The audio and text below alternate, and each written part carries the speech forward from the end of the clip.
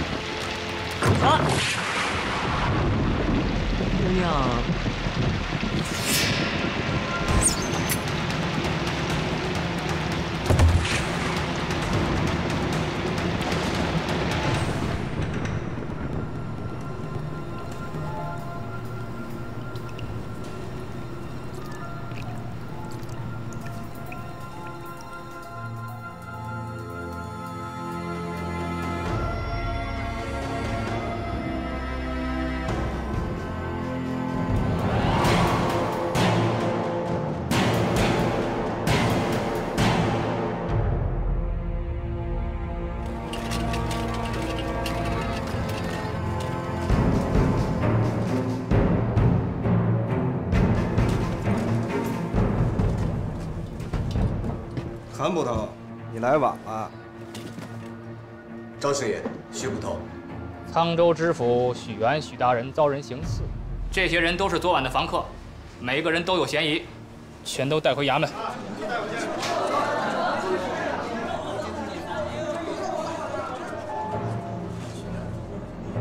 大人，这是从掌柜的房间里找到的账本。什么账本？这明明是客人的住宿登记。去吧，去吧。是。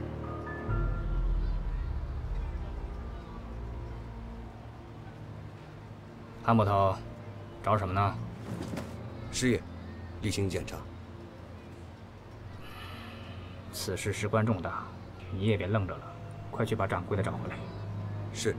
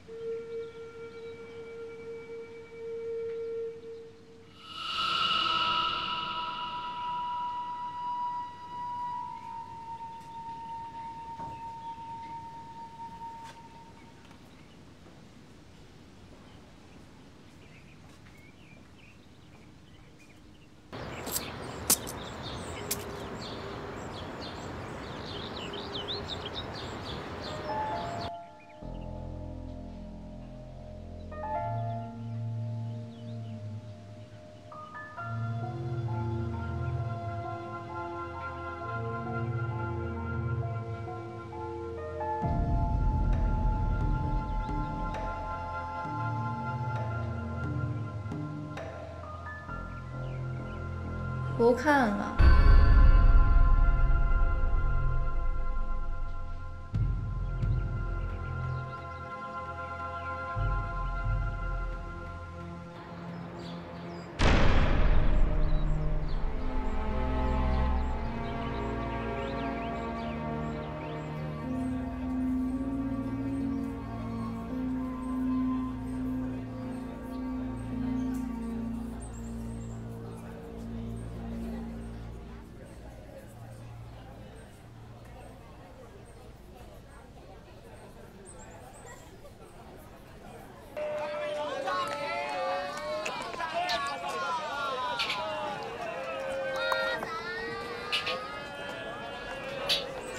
师爷，师爷，喝酒去？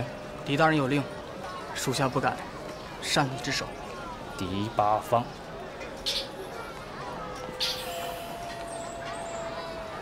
早晚一天，我提拔你。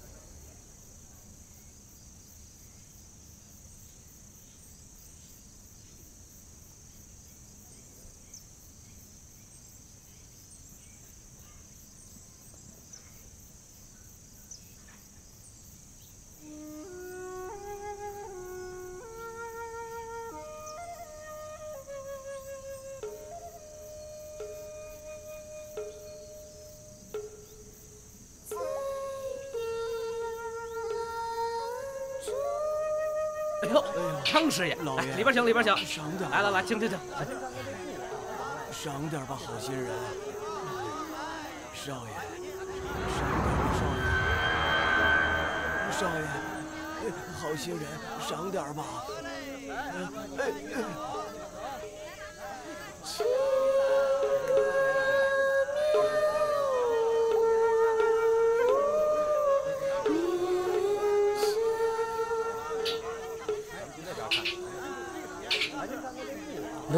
跟踪他？有人举报，开封府每年向朝廷缴纳的税银不及实际收入的两成，我怀疑张光禄在里边做了手脚。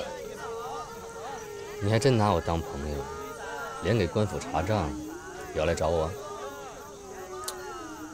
我今天叫你来，是因为我查到张光禄身上还有更大的案子。许安在死之前去过衙门。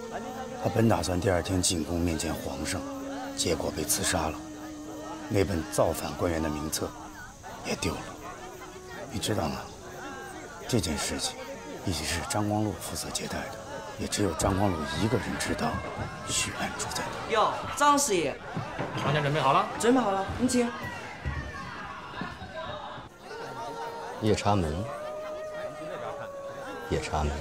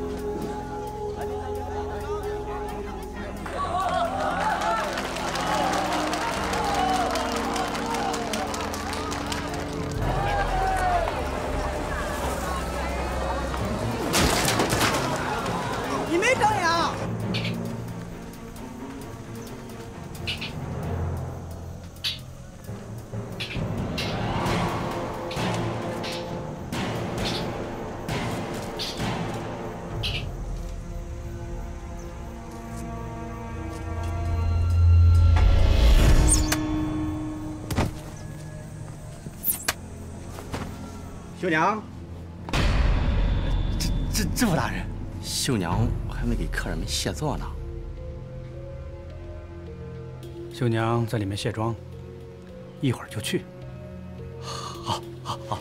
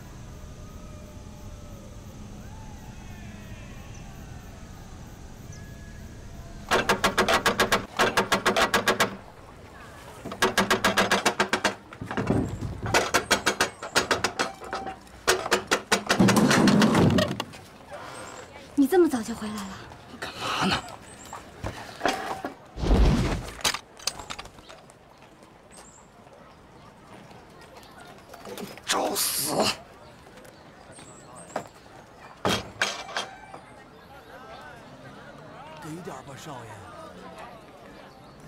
给点吧。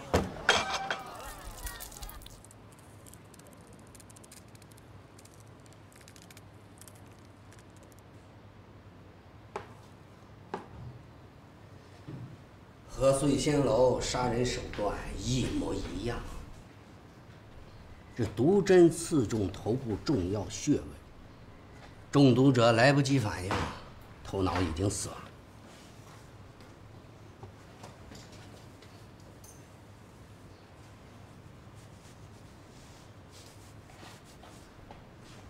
这针上有奇怪的气味，尸臭。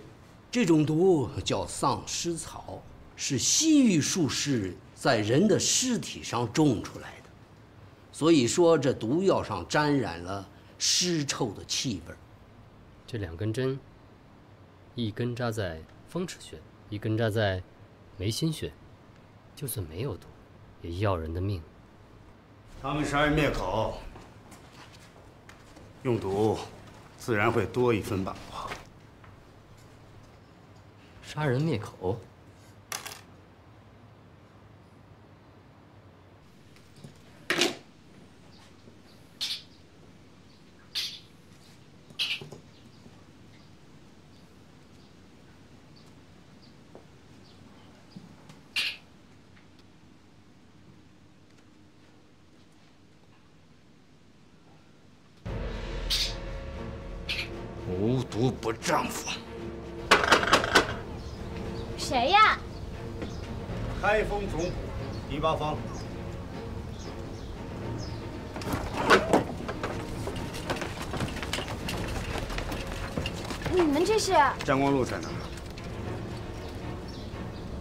书房。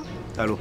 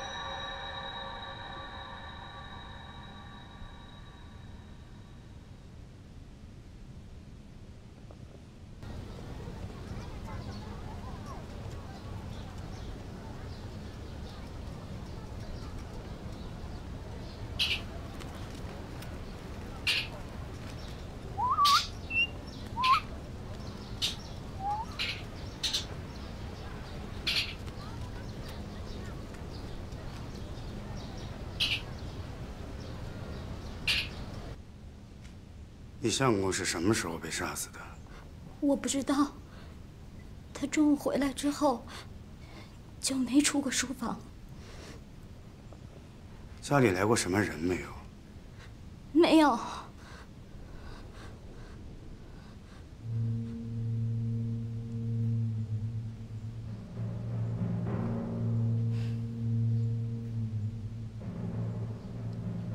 你认识凶手？不认识，我怎么可能知道凶手是谁呢？我我什么都不知道。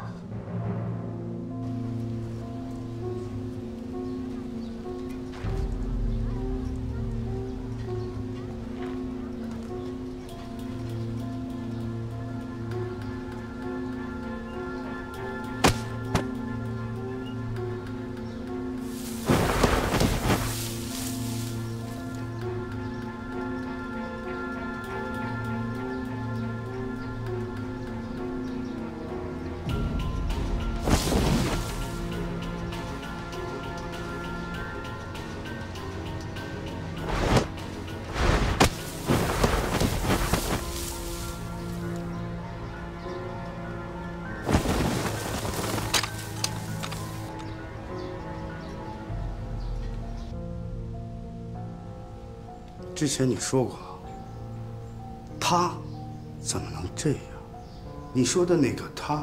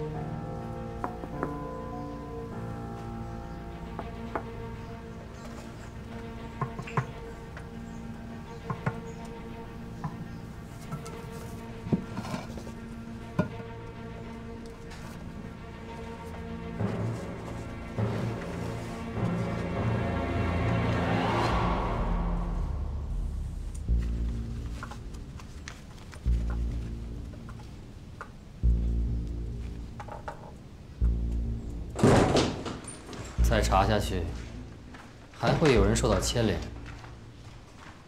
为什么这么说？张夫人应该有一个情人，武功不错。那天张光禄回家，他应该还在院子里。你的意思是说，是他的情人杀死了张光禄？不确定。但是我能确定，那人是跳墙逃走的。如果是情杀，他可以带着张夫人一起离开；如果是仇杀，他可以杀张夫人灭口。是情杀，还要带张夫人走，一定是这样吗？当然，不是这样吗？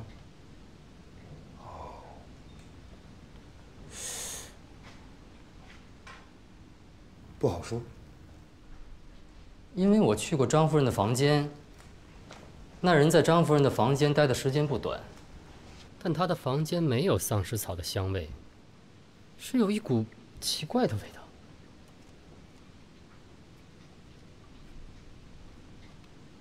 你的意思是说，这两个人待在一个房间，时间还不短，也没有丧尸草的味道，还有一种怪味儿。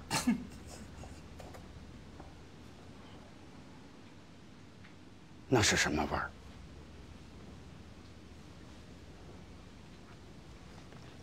这是在张夫人床下找到的账本。张光禄把这三年经他手所有的账目都记录了下来。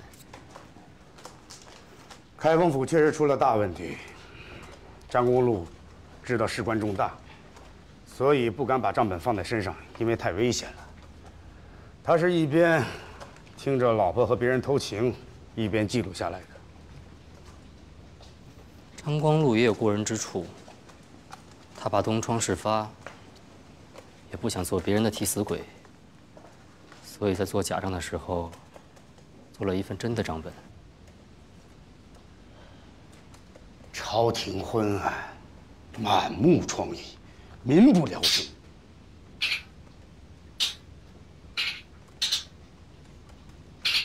不是你老拿着鸟干什么呀？张光禄死了，张夫人也被你抓了，那鸟没人喂，是会死的。大人，知府大人请您过去一趟。知道了。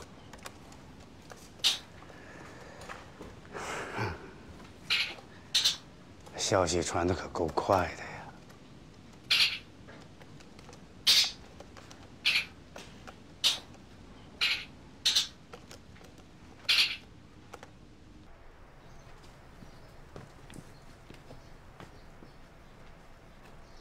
大人，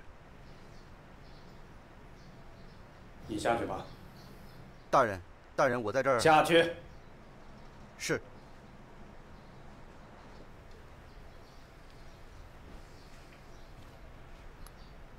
沧州知府许安死在了醉仙楼。这案子还没破，负责接待许安的张光禄也死了。这事儿你怎么看啊？回大人，杀害许安和张光禄的是同一人，凶手是为了杀人灭口。你是说，张光禄勾结凶手，谋害朝廷命官？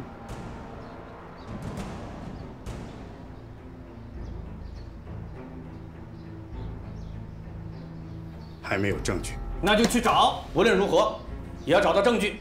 许安是在开封府被杀的。我这个做父母官的和你一样，随时都会得到朝廷的怪罪，乌纱不保。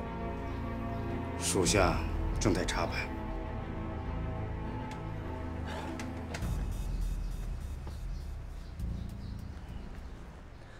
狄总捕，这事情越快了结越好。你要知道，你和我的位置，可是有很多人都在盯着呢。你虽然有大理寺撑腰，但你毕竟还是州府的官员呢。皮之不存，毛将焉附啊？属下明白。去吧。是。等等。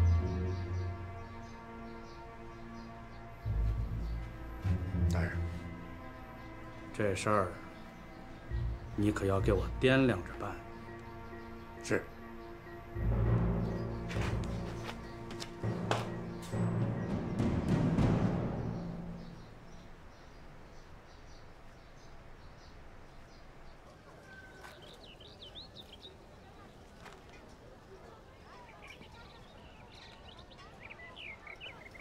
皮之不存，毛将焉附？皮之不存，毛将焉附？大人，说这句话是什么意思？汉武，你说这世上要做到问心无愧、公正做人，到底有多难？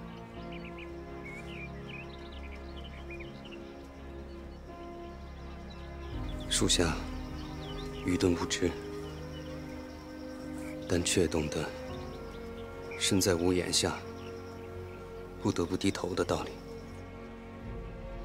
在下觉得，差事就是差事，无情可言，不该太劳神，反而亲人、兄弟才是这世上最重要的。需多费些心思。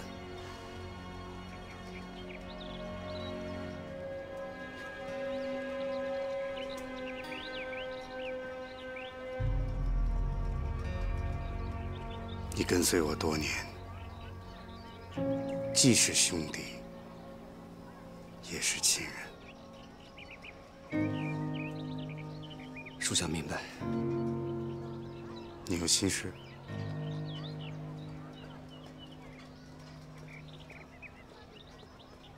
只是有些私事未办，还请大人高驾。谢大人。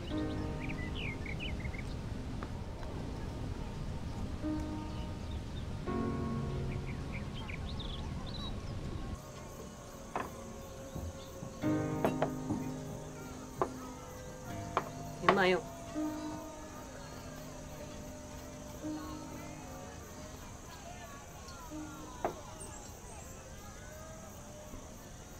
有心事。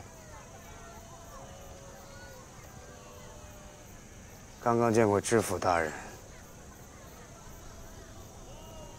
他让你早日结案，最好把许安的死全推到张光禄的身上。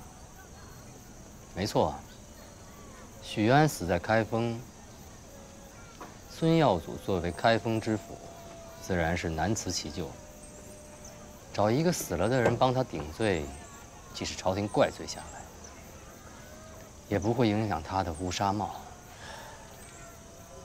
官嘛，人都一样，遇到危机，先想着自保，这是本能，尤其是在官场，更要谨小慎微。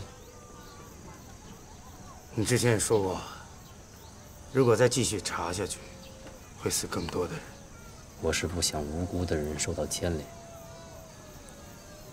可许大人的死，一定要查清楚。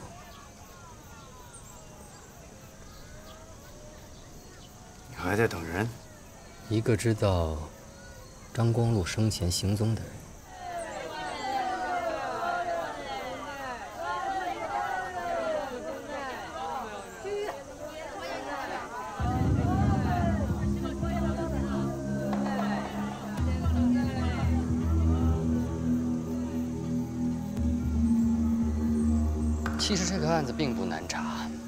江湖中使用暗器的门派虽多，但大都技艺有限。这其中能使用飞针作为暗器的，只有四川的唐门。你是说暴雨梨花针？但暴雨梨花针的手法和凶手杀人的手法有很大区别。暴雨梨花针是以数十枚飞针。一起发射！嗨，谁呀？下来玩玩呗！以量取胜，让对手防不胜防。而凶手只用了一根毒针，不仅能打中人体穴位，还能在几丈之外贯穿人的身体。这种精准和力度，就算当今唐门大当家唐昊也很难做到。不过从凶手的手法来像是少林寺的飞针术，可飞针术的武功太过阴险，在达摩祖师逝世以后，就禁止修炼了。其实我一直想问你个问题：少林七十二绝技真的不传外人吗？或者曾经被人盗走过，抄入了一本？又或者？有人跟你有同样的本事，可以过目不忘。之前聚义钱庄的陈奎，白马镖局的白福，还有洛阳的神医一五七，用的可都是少林寺的绝技。这个我也很好奇。可那本《七十二绝技》的确没有丢失过。我看的那本，也是达摩祖师的真传。少林寺也仅此一本。我现在更渴望得到真相。在事实没有弄清楚之前，唐门的人和少林寺都有嫌疑。少林寺到底发生过什么？那个人到底是谁？他们为什么都不肯告诉我？你想什么呢？走走，去臭要饭。狗崽子！有人请我喝酒，不让我进，我就不走了。这是你要找的人。丐帮是天下第一大帮派，耳目众多，江湖人做事难免要向他们打探消息。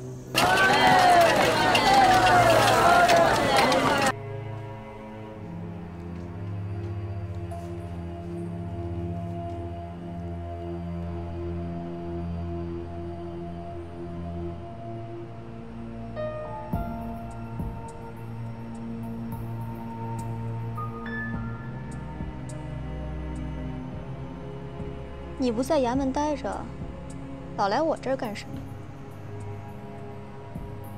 我就喜欢看你唱戏呀，一天不看就睡不着觉。戏子也有个休息的时间。你睡不着觉，就出去溜着，赌馆、酒馆、花街柳巷，想去哪儿去哪儿。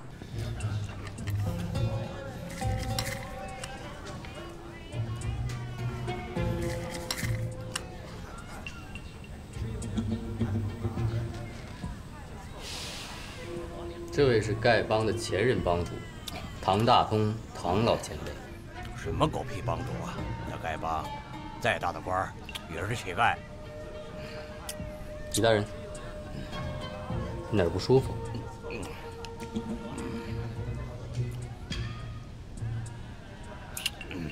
味儿大。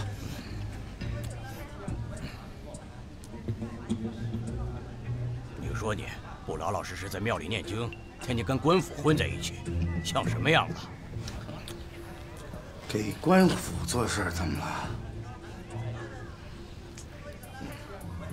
很好吗？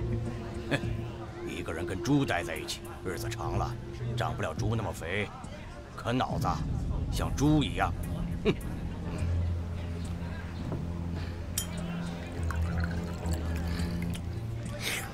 夜叉门到处作恶，我也是迫于无奈，才来向前辈请教。孩子，要我说你就别查了，耗尽精力也查不出个结果。即使查出来，你也办不了他们。到时候，该杀人的杀人，该作恶的还是作恶呀。你这话什么意思？我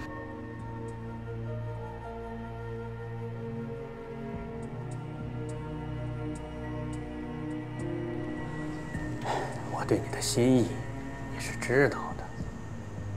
为何总是拒我于千里之外呢？你好像又该交钱了。不是刚交过了吗？上次那钱买的是你的前程，这次的钱是用来买你的命的。你这是什么意思？包子臭了，是馅儿烂了，衙门里没有祸害。夜叉门想作恶，也没有通天的本事。您是说，衙门里有夜叉门的人？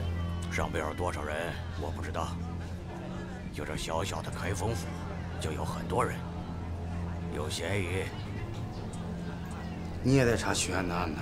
许安是官府的人，他的死活跟我没关系。可唐玉是我的亲侄子，乔尚周是我的徒弟，他们两个都被夜叉门给杀了。我是白发人，送黑发人。怎么着也得给孩子们讨回点公道。张光禄每次给你记账的时候，都留了一个底子。现在账本就在狄八方手上，你说你怎么这么不小心呢？我每年给东家交一百万两银子，我做了一年的贪官呢，现在我是两手空空，难道这些钱不能买我的命吗？你以为东家看上你什么？生意就是生意，你买前程，我们就卖给你前程；买命，我们就让你活下去。东家就要来看戏了，你可要快点准备。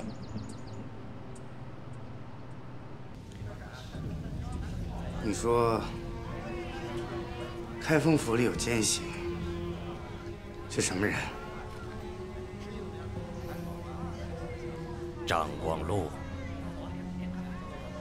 韩武、许三角，还有你们那个知府孙耀祖，每一个人都有嫌疑。许安回京后，到开封府求助。孙耀祖明明就在衙府，却让张光禄去接待许安。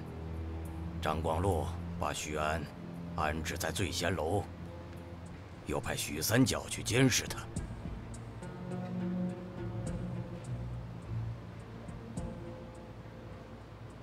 安被杀时，许三角也在醉仙楼。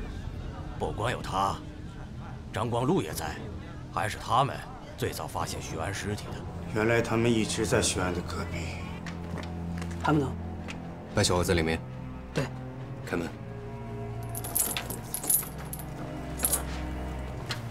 别走，我很快出来。是。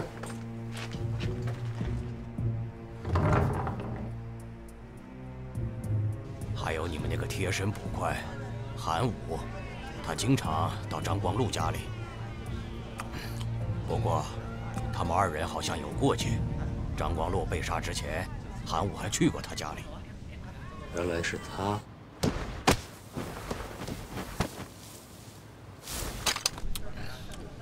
韩武来衙门之前，曾在唐门学艺，一手飞针打得有模有样。这点你不会不知道吧？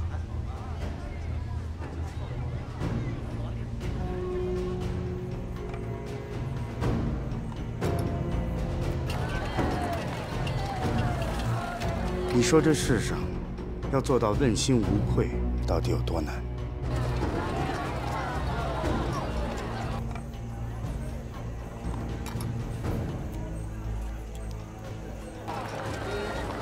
你有心事，只是有些私事未办，还请大人高驾。大人，谁在里边？回大人，是韩捕头。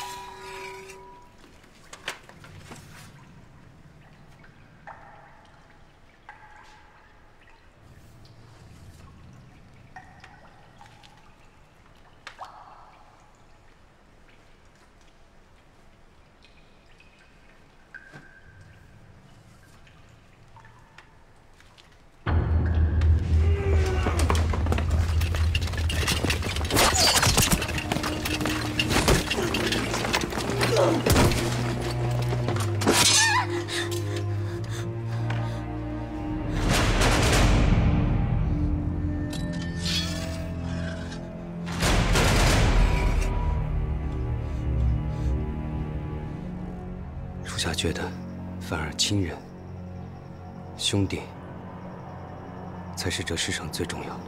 你跟随我多年既是兄弟也是亲人。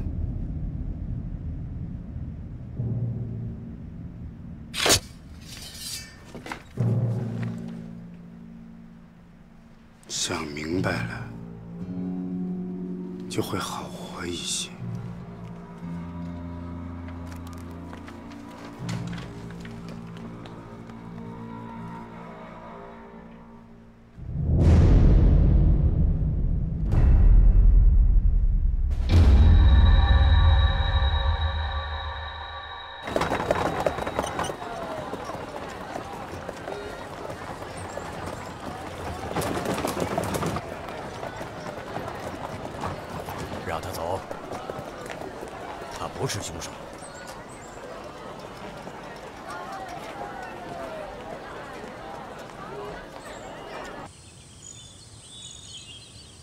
前辈说韩武不是凶手，可狄八方为什么要抓人呢？因为第八方也可能就是夜叉门的人。夜叉门的人。为此，我专程到沧州去找过灵儿。当时唐玉的命案虽然破了，可是那本造反官员的名册还没拿到手。许安没死的事儿，他只告诉过你和狄八方两个人。许知府没死，名册还在他手里。那个被杀的中年儒生是他的弟弟许宁。不可能。第八方一直在追查夜叉门的事情，没有他，我很多案子也破不了。他又怎么会是夜叉门的人？那你可知道，第八方是什么来路？现今唐门的掌门人唐昊，就是他的亲舅舅。第八方的武功。也是唐昊一手教授的。韩武那点本事，和他比起来，那是差之千里呀。不可能。许安被杀时，我和狄八方刚从沧州回来，他没有杀人的时间。你们俩什么时候进京的？那一晚下着雨，我们到了一间客栈。第八方的部下来为他接风。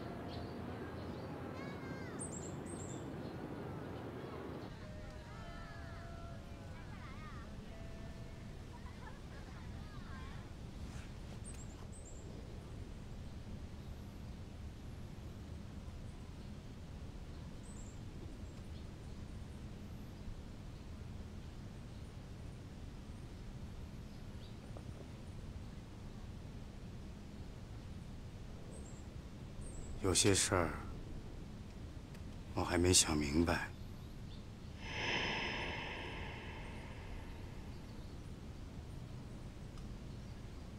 今天晚上我在翠仙楼订了位子，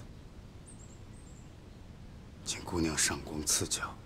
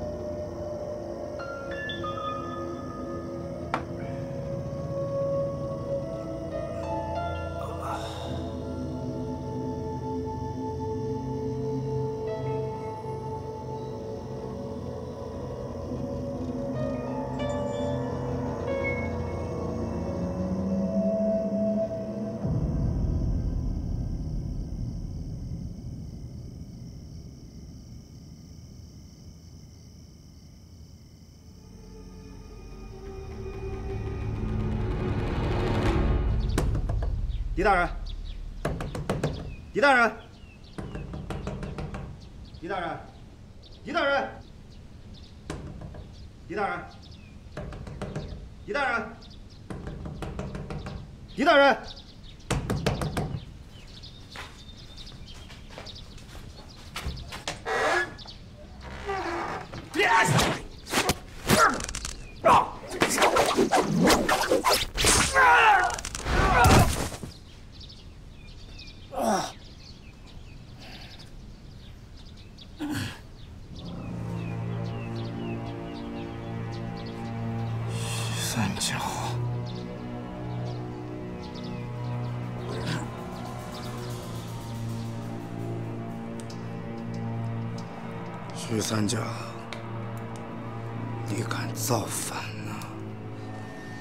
大人，现在想要造反的人是你吧？我只是奉命行事，缉拿朝廷重犯归案。那我，你就不怕吗？我怕？我怕什么？现在韩武已经归案招供，就是你和韩武一起杀害了许安许大人。你承认也好，不承认也罢，反正韩武已经在罪状上签字画押，明天就上报朝廷。我呢，也就不强逼你了。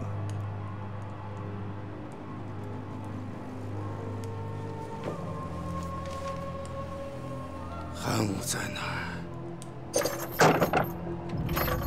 嗯，已经是个废人了。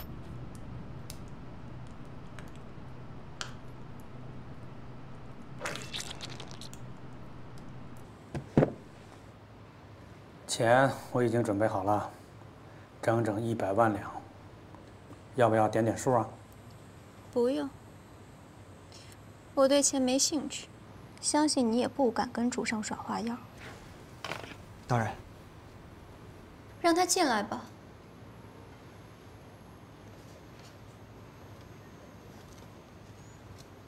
什么事啊？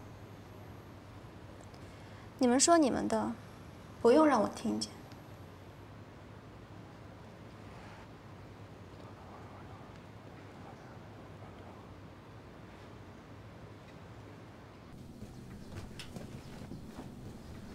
是你要找我？是大人。听说你很聪明，帮助第八方破了不少案子。说吧。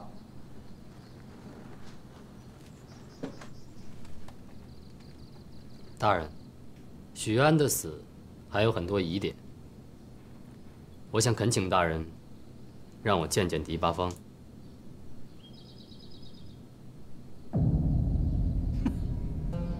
笑话！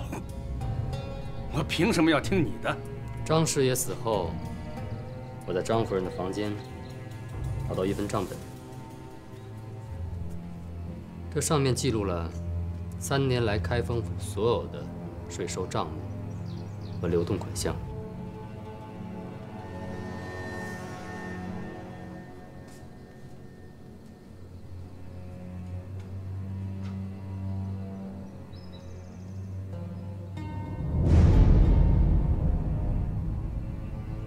三年前，正是大人上任的时间。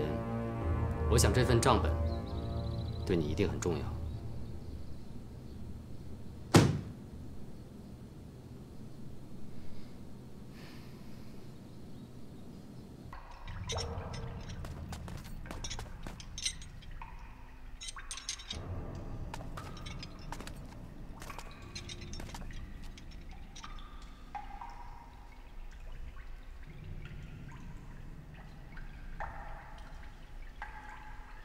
来了，来了，账本给他了。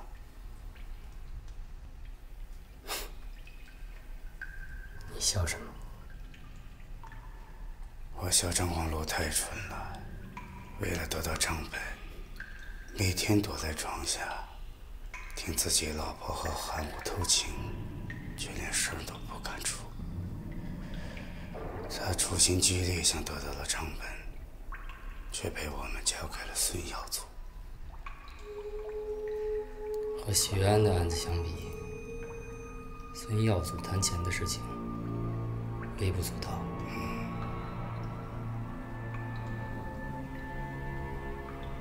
唐昊真的是你舅舅？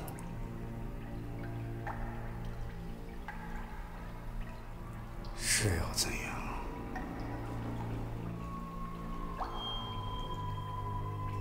你也怀疑我？不。许安死的时候，我们刚进城；后到客栈避雨。张光禄死的时候，我们也在一起。你没有杀人的时间。我要是有时间呢？不，不可能是你。我不相信你。你不是一直很讲究证据吗？什么时候也开始凭直觉断案了？唐林怀疑我是夜叉门的人。你不是也不相信吗？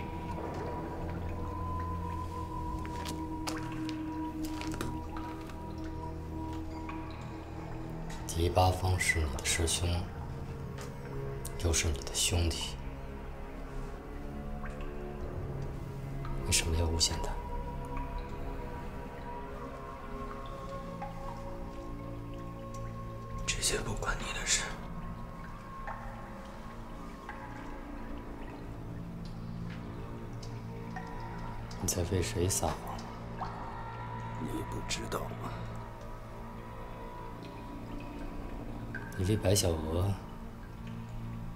做的太多了。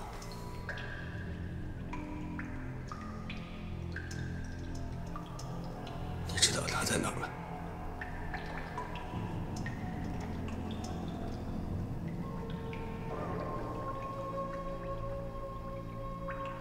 等我的消息。兄弟还可以做。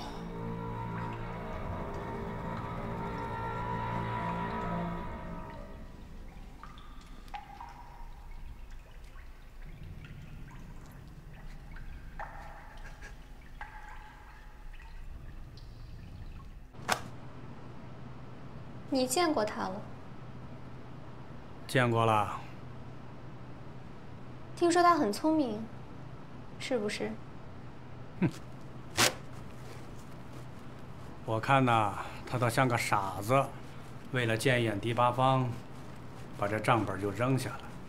要知道，这东西要是卖给我，或者交给朝廷，那会值很多钱的。你哪配跟他比呀？李少白如果是贪图名利的人，那他早就富可敌国了。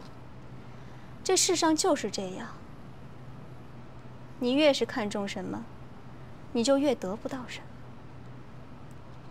要真是看淡了，什么都不在乎了，他就拼命往你身上扑。女人是这样，金钱和名利也是一样。你未免太高看他了吧？有些事没必要向你解释，你只要好好应付他就行了，别让他抓住你的把柄。但你又不能伤害他。你为什么不杀了他？以前也有人说过这样的话，现在说这些话的人都已经死了。他的命，咱们俩谁都赔不起。你只要照我说的做就行。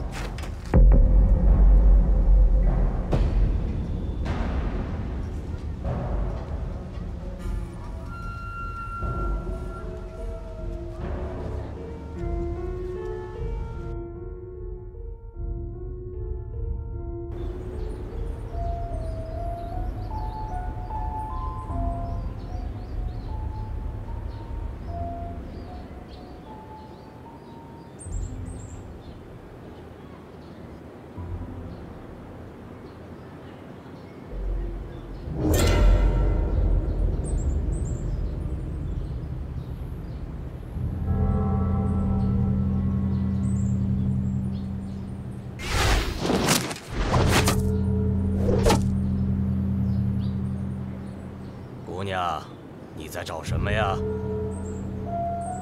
我想找个干净的杀人的地方，又不用被人发现。好大的口气呀！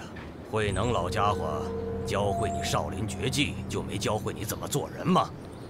堂堂的丐帮帮主，武林盟主的师傅，一根打狗棒打遍天下。我当然不是你的对手。那都是过去的事儿了。我现在就是一个老叫花子。不过，我今天是来看戏的。看来，慧能老家伙也来了。要不然你个娃娃敢这么嚣张？老朋友，人都来了，还不敢以真面目现身吗？你是不是越长越难看了？你不该来京城，更不应该趟这趟浑水。就凭你咬人，还不行我打狗啊？少林的小罗汉阵困不住你，试试我的打狗棍也不错。你走吧，不想跟你动手。老子当年也是天下第一，听说你练起了达摩的七十二绝技，这么好的机会，我岂能错过呀？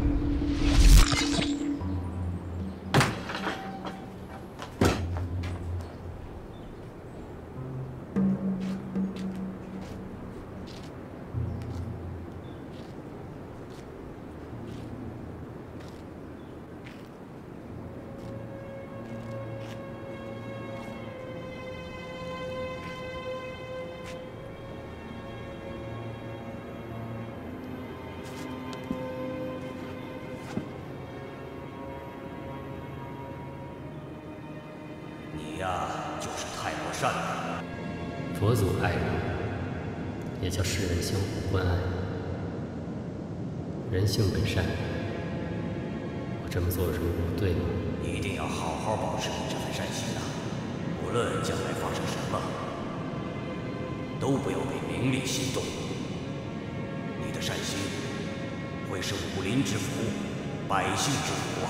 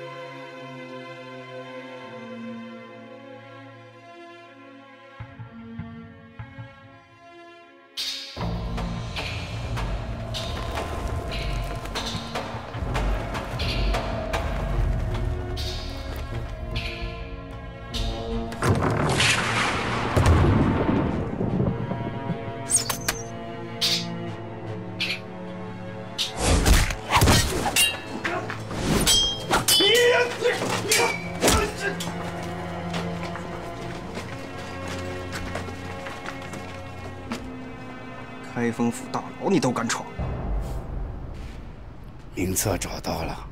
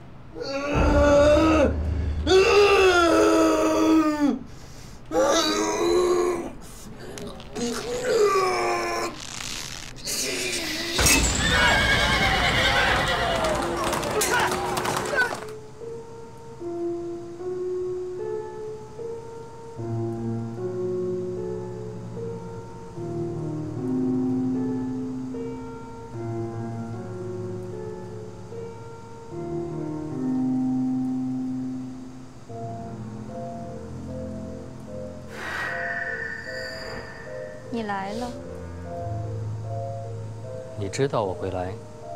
当然知道。这天下还有你李少白查不出来的案子吗？你想找谁，就肯定能找到。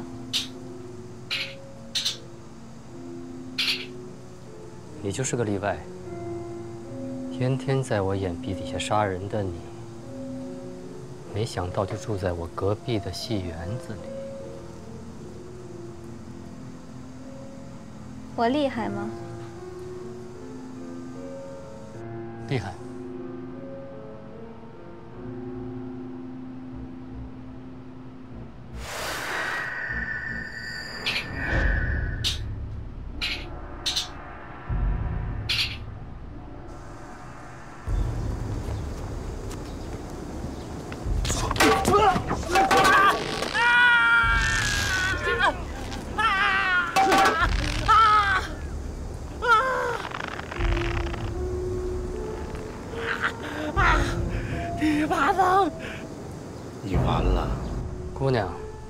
少林寺从来没有收过女弟子。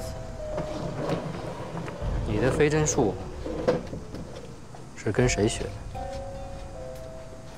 这个我现在还不能告诉你。不过我倒想先听你说说，你是怎么找到我的？本来是无处可查的。你用张夫人威胁韩武，来指认第八方。我相信韩武一定见过凶手。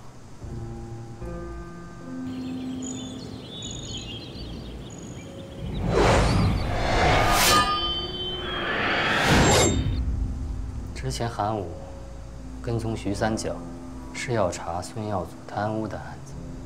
他去戏园，应该见过你。戏院里人那么多，韩武过来，看见的也许是其他女人，也许是个男人。之前我也以为凶手是个男人，可从张公路被杀以后，我就知道你是个女人。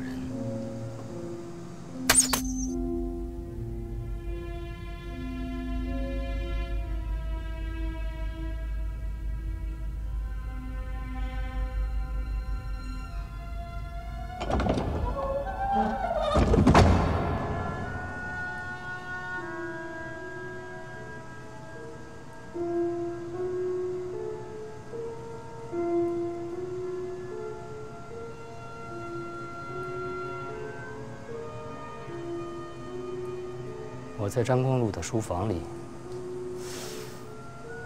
闻到了一种很特别且浓烈的气味，是女人身上的味道。可是我后来去张公路的卧室，并没有闻到。你把香味涂得这么浓，就是为了掩盖你身上带的毒针所散发出来的丧尸草的尸臭味。所以你到了戏园里，就很容易的找到了我。只要靠近戏台，这种香味就扑鼻而来。你的鼻子可真灵。起初我以为你们杀张光禄是为了灭口，是怕谋杀许安的案子败露。可你杀完人后，又两次去了张光禄的家里。应该是在找什么东西。我要找那份州府官员的名册。许安把它缝在了鞋底上，后来又被张光禄拿到了。你们男人可真是狡猾。张光禄拿那本名册来要挟你们，是想升官发财？他和孙耀祖是一样的人。贪得无厌，死不足惜。你那么聪明，到底有没有找到那本名册？我没有张光禄聪明。他把名册放到一个你们想找也找不到，他随手就可以拿到的地方。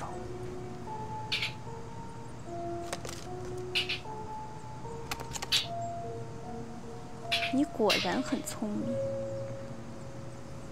你的问题问完了，该我问你了。问吧，只要我能回答的，我一定满足你的好奇心。我有两个问题：第一，狄八方跟大理寺借兵，抄了孙耀祖的宅院，可他家里没有钱。他每年贪的上百万两银子，都去了哪里？他在夜叉门是什么角色？他不是夜叉门的人，不过是一条狗。每年为主上效忠，不过是为了升官，升更大的官，然后贪更多的钱。如果夜叉门得势，说不定什么时候。这些人就成了开国重臣。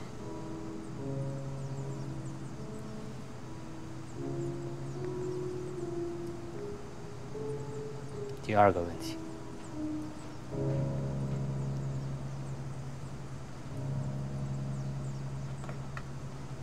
唐老前辈，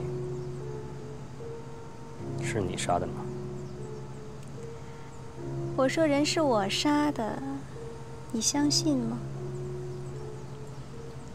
听说唐大通传给了你一套打狗棍法，你来抓我，怎么不带着棍子呢？不必。我说也是。堂堂的大公子拿着乞丐的棍子，岂不丢了你的身份？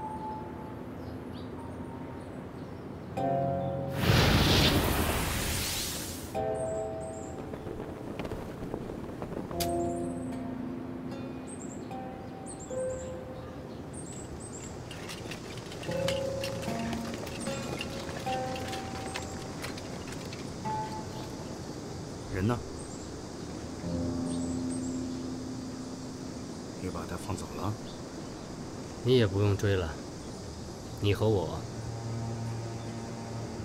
都不是他的对手。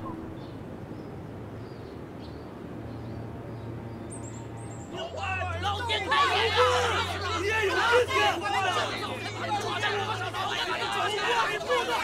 天气可真热。你服了吗？当然热。那本名册，你打算怎么拿去大理寺邀功吧但这份密谋反叛的官员名单中大部分人是被胁迫的。上缴朝廷必将引起血雨腥风。你还是烧了吧。我对当官没有兴趣。说来也奇怪韩天佑、鬼优、一五七，还有那个秀娘，他们每个人都可以轻而易举地杀死你，可他们又都舍不得杀死你。你这么喜欢探案，就没有想过要查查自己的事情吗？你怀疑我？你几次去见秀娘？我没怀疑你，你怀疑我？哎，说话要有分寸。你看秀娘的眼神很奇怪。奇怪吗？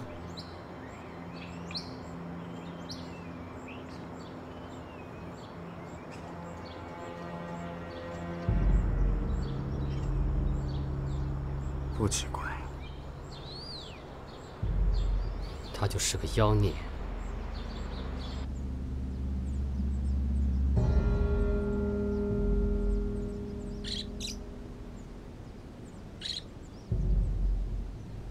谢太子，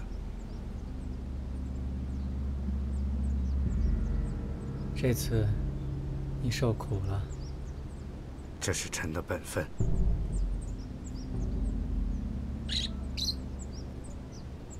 不是我不管你，我也有苦衷。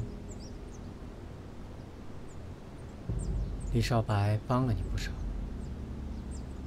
不过现在我还不方便出面赏赐于他。臣明白，臣自会打理好这件事。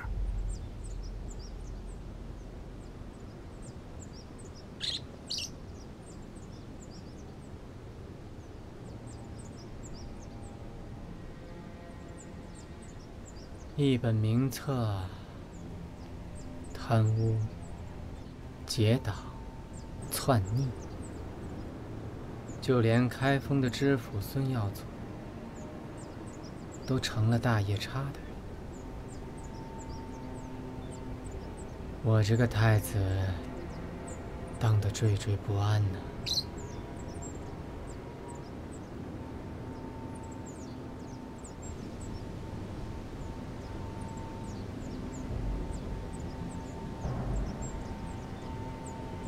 他关在什么地方？开封地牢，重兵把守。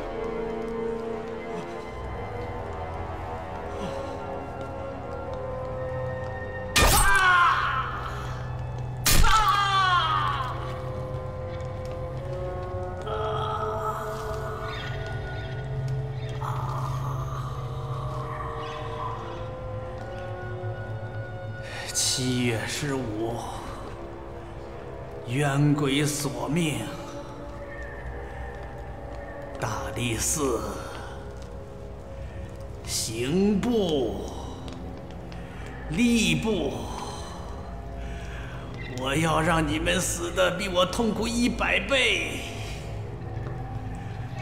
我要让你们尝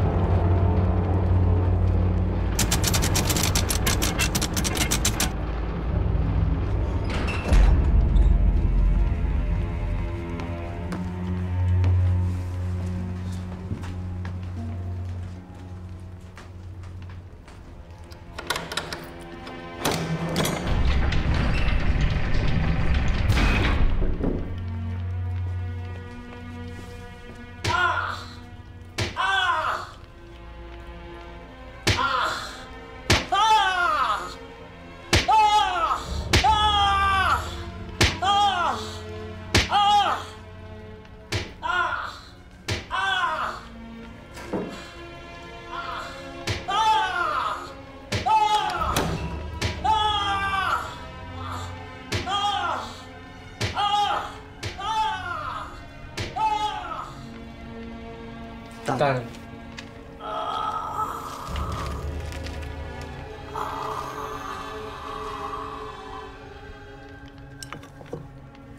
大人。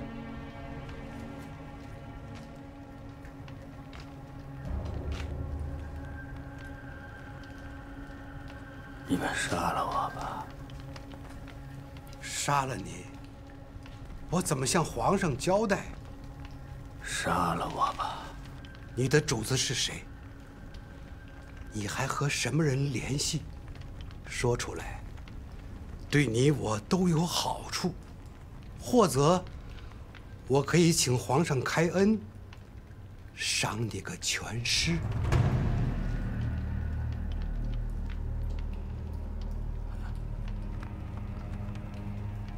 可笑。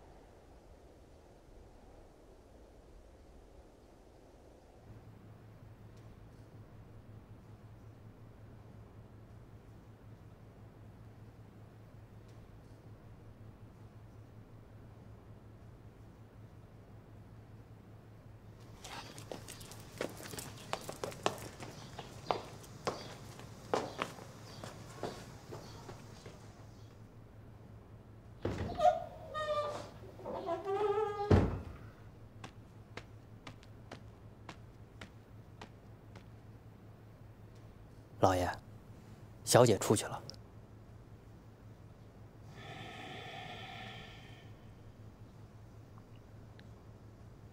让她去吧。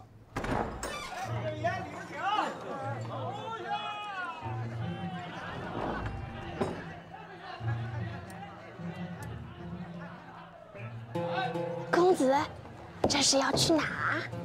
你需要知道吗？不需要吗？需要吗？公子，其实老婆子吧是专门测字算命的，就看看公子今日的气运，特来点拨点拨。好啊，那你就给我测一个字。说，傻。这公子长得白白净净的，为什么专测这个字呢？哎，公子，这是去找人，对，男的，不对，女的？对。那你不找，找到也只剩下尸体。赵姑娘这么狠毒，就不怕没人敢要你？我会没人要。老太婆是没要，还装吗？不装吗？装吗？不装了。哎，客官里边请。赵姑娘，你身上有着宫里女人特有的胭脂味儿，还有各种毒药混合在一起的味道。这天底下有谁的身上会同时有这两种味道？夸我呢？要找李少白，为什么不去少林寺？他不在少林寺，昨夜封了城门，有案子，他一定会在这儿等着我的。看来我的好奇心得收敛一点了，要不然全被他猜中了。你不但有狗鼻子，还有一双鱼耳朵。哟，赵姑娘也在啊！我正好找你有重要的事儿呢。死者叫朱子玉，是刑部的尚书，正在调查孙耀祖逆反的案子。昨天晚上从地牢回来之后，就被人毒死在书房里，门上还被人贴了符。画的什么？七月十五，冤鬼索命。传说中，每年七月初一，冥王就会下令打开地狱之门，让那些终年受苦受难、禁锢在地狱的冤魂厉鬼，到人间游荡，享受人间血食。七月十五，也是民间的鬼节。哎，你干什么？原来是一张催命符。这可是物证。什么证？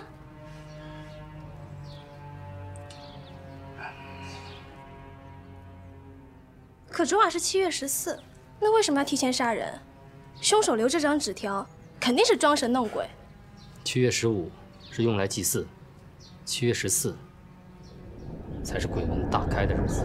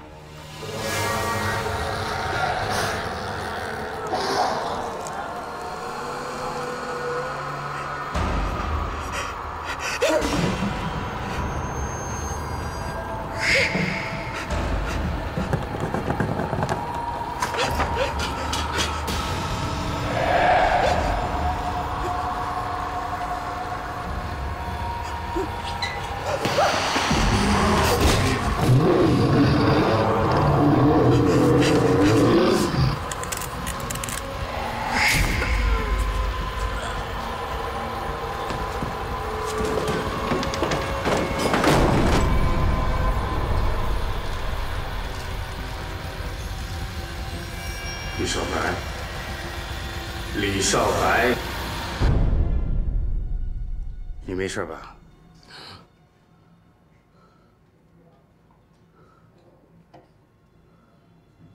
我要把这本书拿回去。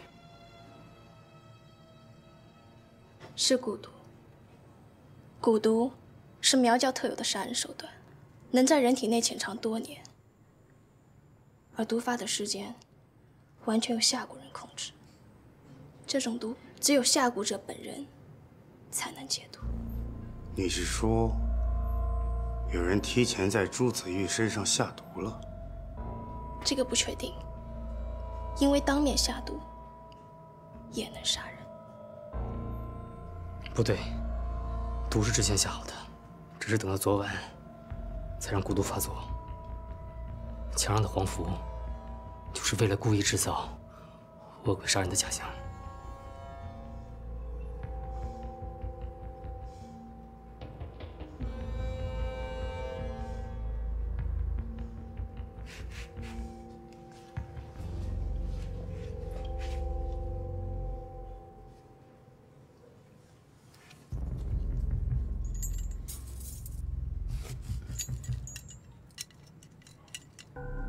这个你不能动。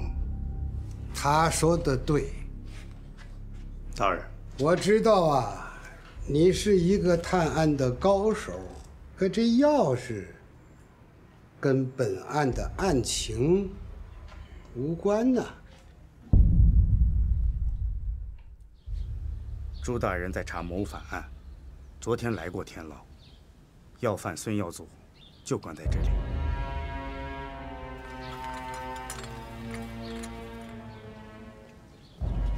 那为什么会关在大理寺？京城牢狱防卫分为四等，一般的刑犯由开封府衙看管，重犯、要犯关在了刑部，那些穷凶极恶者送到天牢，刑部管不了的就关在大理寺的地牢。上官叔叔，还有刑部管不了的案子啊？谋反乱政、破坏朝纲，这样的犯案者，多是一些皇亲国戚、倾国重臣。嗯，刑部管不了啊，也没人能管。所以就把这些包袱抛给了大理寺。我不过是一个区区的三品官员，就是搭上我全部的身家性命，也动不了那些老爷们的一根头发。这地牢是先帝下令监造的，由刑部、吏部、大理寺共同监管。为了防止有人通敌越狱，这地牢的钥匙也是由三方共同掌管。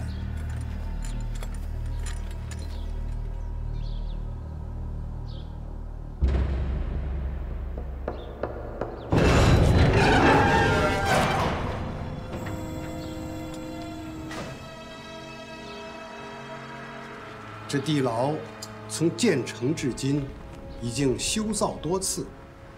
最后一次改造，大约是两年前，由兵部侍郎龚书鸿亲自监造，把这地牢的铁门改成了机关门。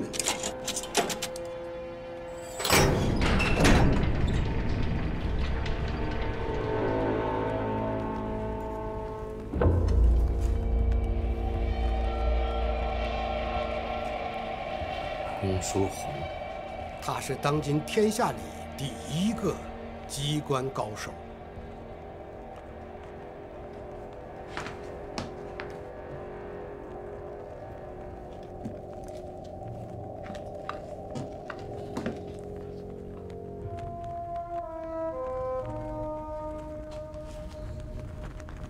赵姑娘，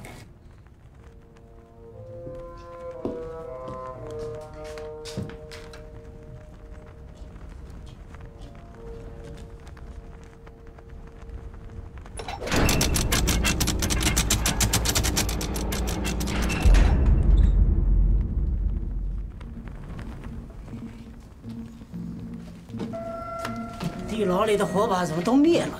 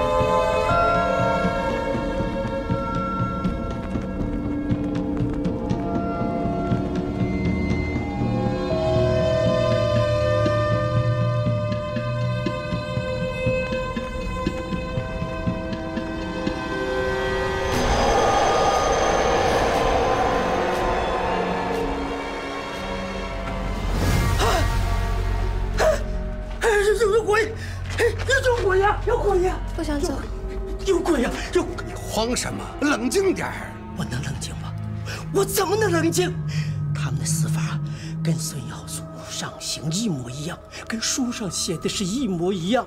这是孙耀祖来报仇，是冤鬼们来报仇。胡说八道！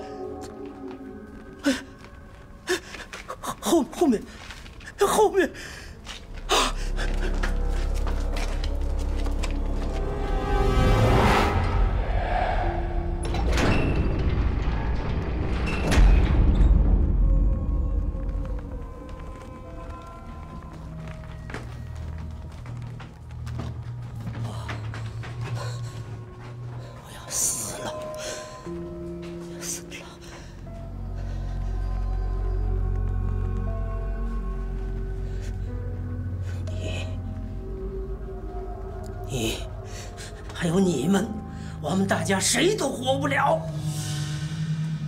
孙耀祖的话应验了，他是找我来报仇的。你放松点儿。他们是被人杀死的，那些条幅是早贴上去的，只是进洞的时候光线太暗，我们没看清楚。放屁！地牢里没人能来，钥匙在我手上呢。孙耀祖说过什么？却是我冤鬼索命，大理寺、刑部、吏部全都要死，全都要死啊！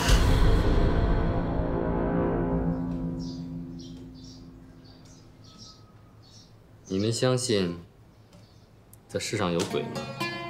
我相信。他说什么你不信？我爹爹天天念佛，他说佛就住在灵山，有仙有佛，就肯定有鬼。佛家里讲，上有西方极乐，下有无间炼狱。一个人作恶太多，死后就会在炼狱中受苦。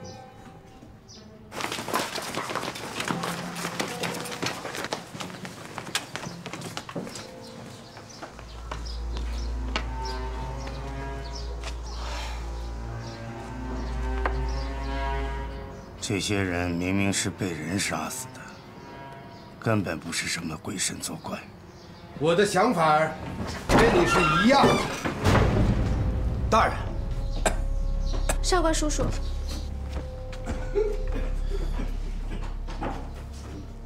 这个案子蹊跷太多，有许多事儿啊，都不是人力可以办得到的。大人说的是如何进入地牢？大理寺的地牢戒备森严，从入口到机关门口只有一条路。你要是硬闯呢，他就会惊动守卫，即便他能够避开所有的守卫，可是他没有钥匙，也进不去地牢啊。就仅仅这一把钥匙，就得分三次，才能打开一个锁孔的机关。还有一个最重要的问题，就是那天咱们五个人在地牢里发现尸首的时候，我曾经看过地牢的墙壁，上边什么都没有啊。大人，我有一事不明。既然钥匙在您、赵大人、朱大人三个人手中掌管，您三位离开地牢，门自然会被锁上。那仵作和狱卒怎么会死在地牢里呢？这个问题很简单，地牢里的囚犯都是牵扯要案的，所以每个囚犯都配备一个专门的狱卒，仵作是负责逼供的。在结案之前，这些人要一直住在地牢里，不得外出和任何人接触。大人，这三把钥匙会不会被仿制？绝无可能。自从莫龙死后，世上就没有第二个人能够破解公叔弘的机关了。此案我已经奏明了皇上，皇上降旨，七天之内必须抓到凶手。七天？上官叔叔，七天连破案的时间都不够，别说抓凶手了，抓个鬼啊！你这话是说对了，就是要抓鬼。我能不能见见公叔红前辈？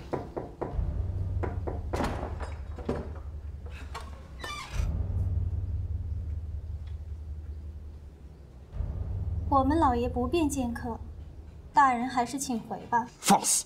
本官奉旨查案，公叔弘想造反不成？我们老爷是接到了圣旨，在没有完工之前，不得走出密室，更不得与外人接触。若违军令，满门抄斩。你们家老爷闭关多久了？三个月，让他们进来。请。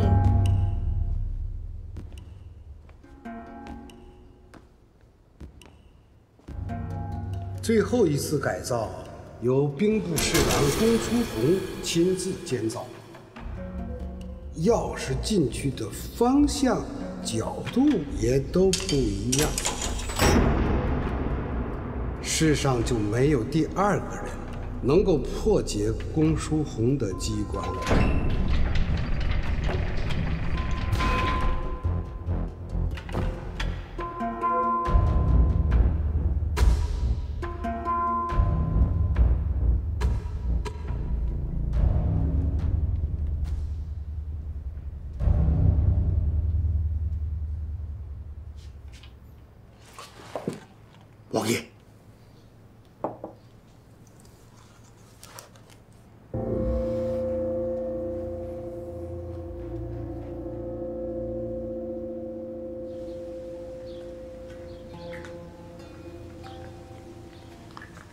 见到公叔弘了？没有。那密室里的人是谁？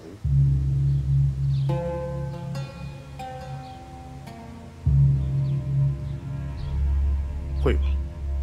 会吧？公叔弘根本就不在密室里。他在，只不过密室的里面还有一间密室。公叔弘有王爷和太子撑腰，这案子没法查。公叔夫人应该没有说谎。公叔弘确实有三个月没有出房门。你怎么知道？我在他书房的书架上看见一把算盘，算盘上左边的三根圆柱上各有十个木环，最右边的圆柱上有十二个木环。公叔红是用它来计算时间。右边的十二个木环代表着一年有十二个月，左边的三十个木环代表着一个月有三十天。这些木环刚好停留在四和十三的位置上，这说明从四月十三号以后。公叔红再也没有出过密室。到今天，刚好是三个月零两天。我想这个案子跟公叔红没有什么关系，因为三个月前孙耀祖还没有报。现在唯一的线索也断了。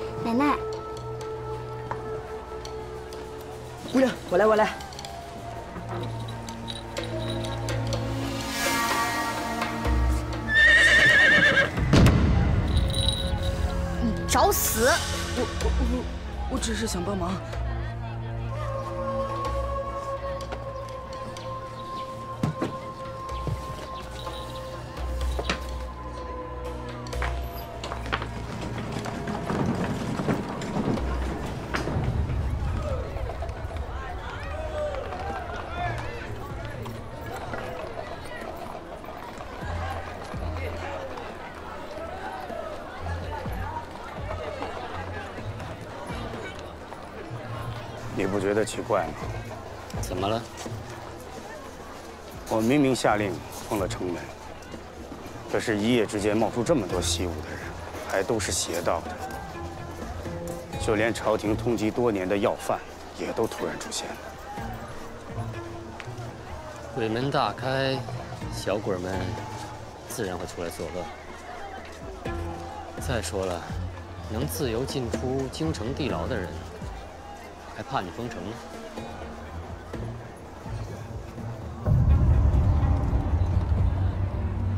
这个人很面熟。江西杀人魔李鄂，五年前的京城连续作案被官府通缉，只不过现在脸上多了几道刺青。见过他？我看过开封府的卷宗，上面有李鄂的画像。李鄂身高七尺，脚长一尺三寸。兵器用的是鄂尾弯刀。那卷宗是我写的，我追了他三年。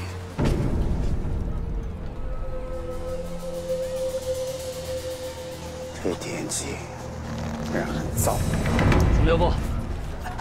三位，请留步。有事吗？请问三位买药吗？看二位的打扮，应该是官府中人。还有这位姑娘。非富即贵，你们都是有钱人，命可比老百姓贵多了。你有病吧？无量天尊，贫道没病，有病的是世人。今日是鬼节，妖魔横行，贫道特意从千里之外的茅山赶来，就是为了拯救世人的。你卖的是什么药？灵丹妙药，有病治病，没病辟邪，而且价钱公道，只要。五十两一粒。你这道士看病也要钱啊？呃，道士也是人呐，也得吃喝拉撒睡。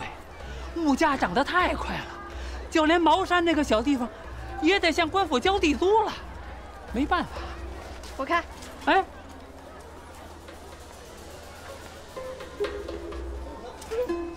行呀，道士拿丁香骗人。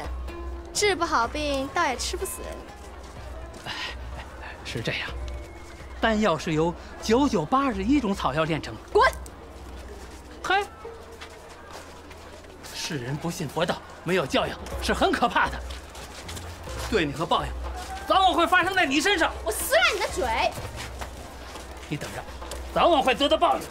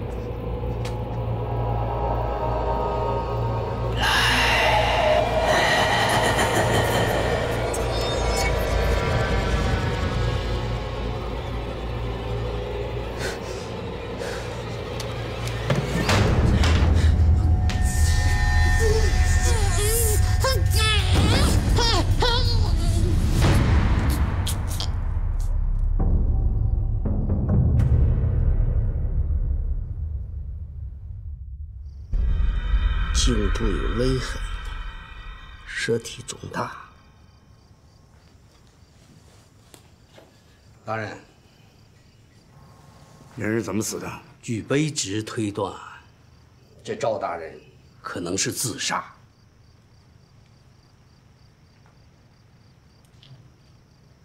房间检查过了吗？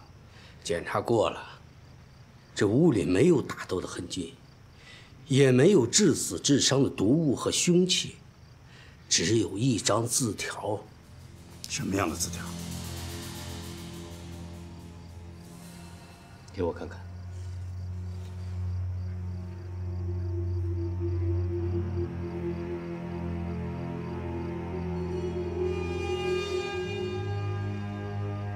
又是这些人在作怪，已经是第三张了。这个条幅在哪儿找到的？床顶上。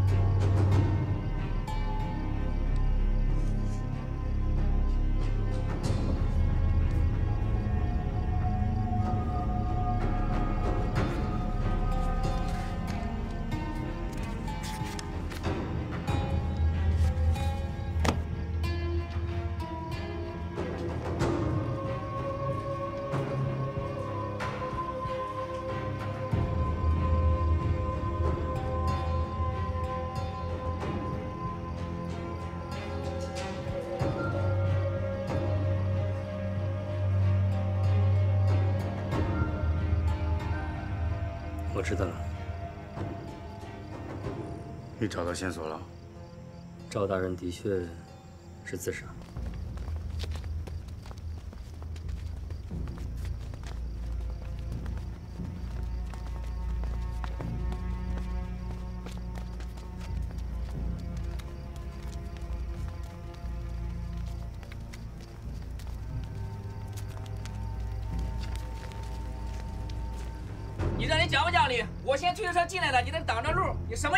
哎，这路你家的，凭什么我给你让路？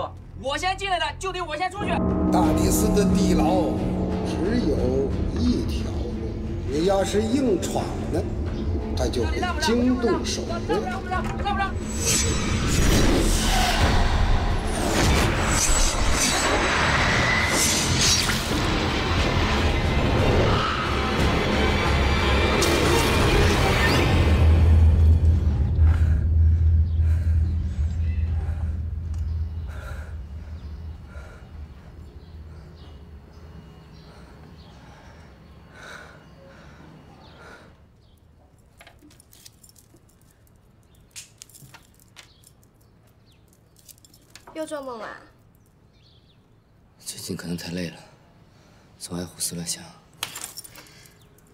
梦见什么了？是男的还是女的呀？有没有梦见我？我梦到鬼了。没劲。我去熬汤了，你喝不喝？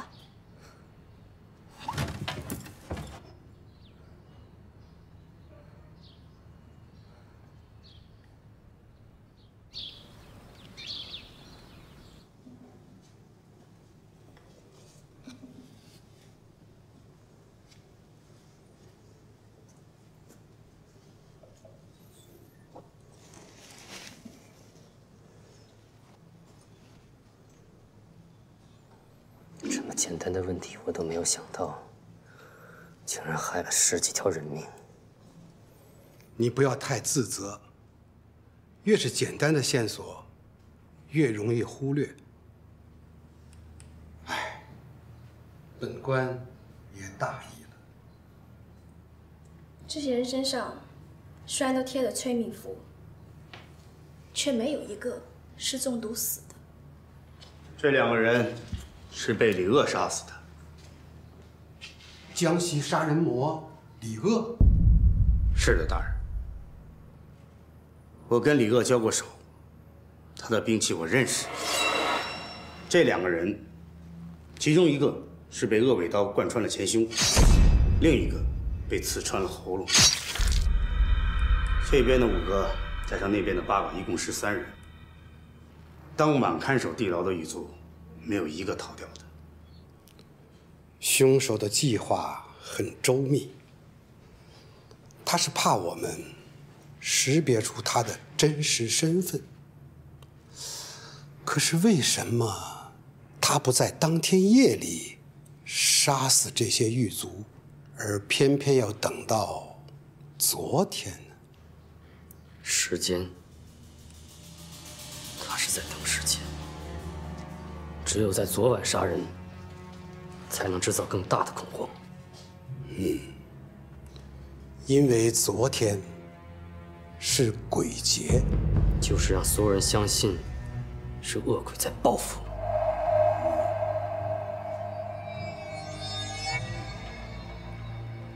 还有一件事情，我要告诉你：户部尚书严方严大人、工部侍郎马如是马大人，也在昨天夜里被杀了，尸首刚刚运到刑部。可这些和孙耀祖的案子有什么关系？他们都参加过之前的审讯。没想到一个孙耀祖的案子，竟然连累这么多人。你真认为他们是为了给孙耀祖报仇？那为什么本官还好好的呢？全城戒严，挖地三尺，也要把这个李鄂给我抓出来。是，大人。上官叔叔，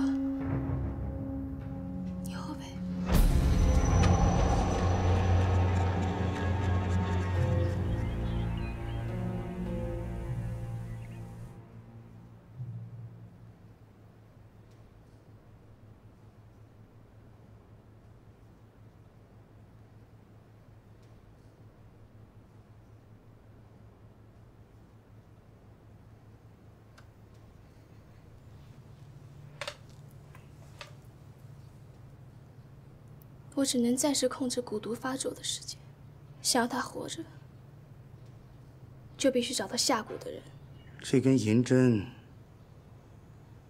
到底能坚持多久？七天，七天后要再不能解毒，神仙也救不了他。又是七天，真是巧啊！皇上给我查案的最后期限也是七天。如果我找不到凶手，我也活不了。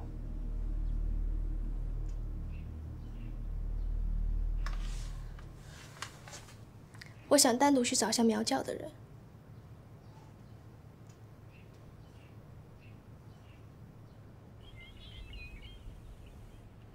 我知道你想说什么。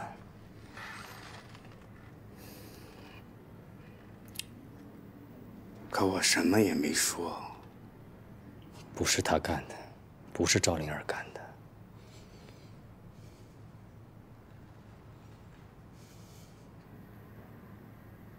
我也不希望是他。可他是莫千里的徒弟，是天下顶尖的用毒高手。是蛊毒，我想单独去找下苗教的人。你不相信我，我们还聊什么呢？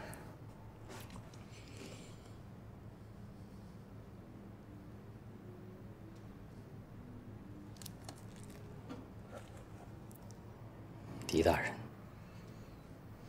你之前怀疑过少林寺，怀疑过我。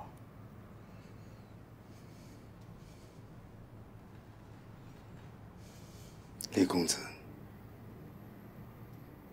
我现在只跟你讲案情。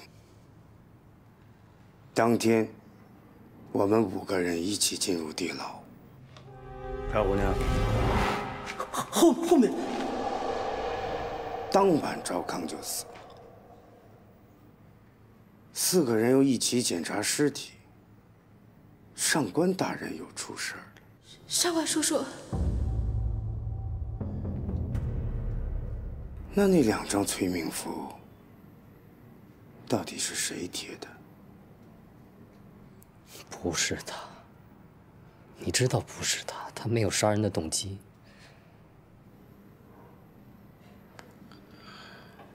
可你要知道，他之前离开过很久，可又突然出现了。大人，李鄂找到了。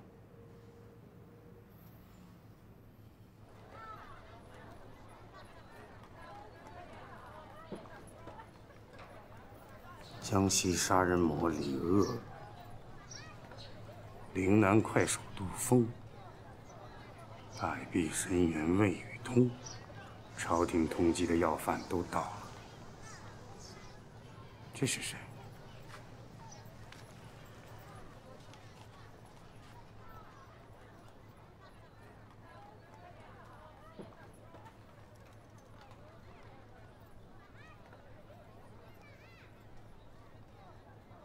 客官，我们店被人包了，您还是到别处吃去吧。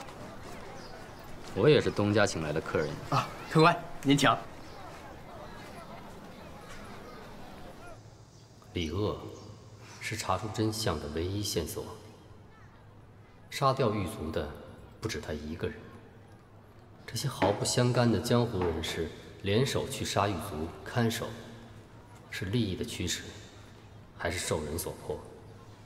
现在还不能打草惊蛇，我相信更重要的人很快就会浮出水面。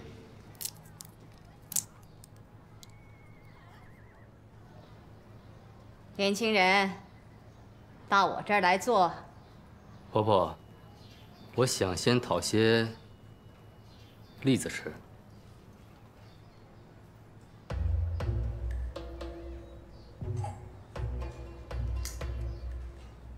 老人家，能向您讨些栗子吃吗？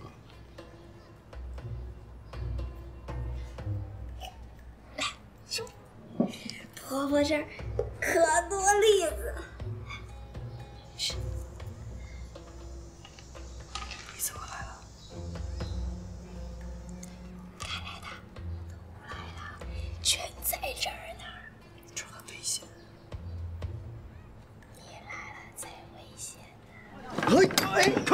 慢来慢来，我们还没进去呢。不是我们今天都不做生意了。我知道，我知道，我们来呀也不是为吃饭的。客官，走走，哎哎哎，客官。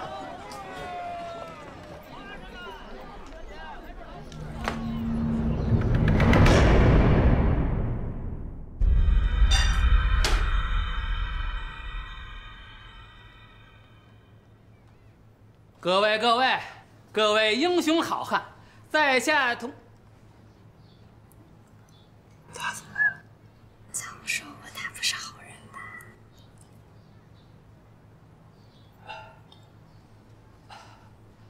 在下童有道，是茅山的炼丹道人。我刚才说了，我到这儿一不吃饭，二不住店，可到客栈来，不吃饭不住店，来干什么？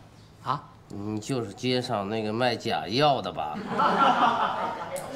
我是卖药的，可我不是卖假药的，我卖的可是灵丹妙药，能解百毒啊！我知道各位都遇到了一个大麻烦，躲不掉，也跑不了，只能坐在这里等死啊！臭道士，你说什么？嘘别发脾气，别上火，更不能大声说话，小心把你身上的毒虫吓醒了，它咬死你。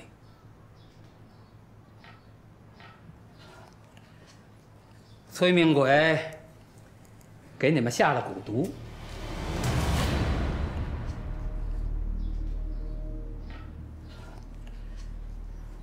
让你们每个人完成一个任务，然后在今夜子时给你们送解药。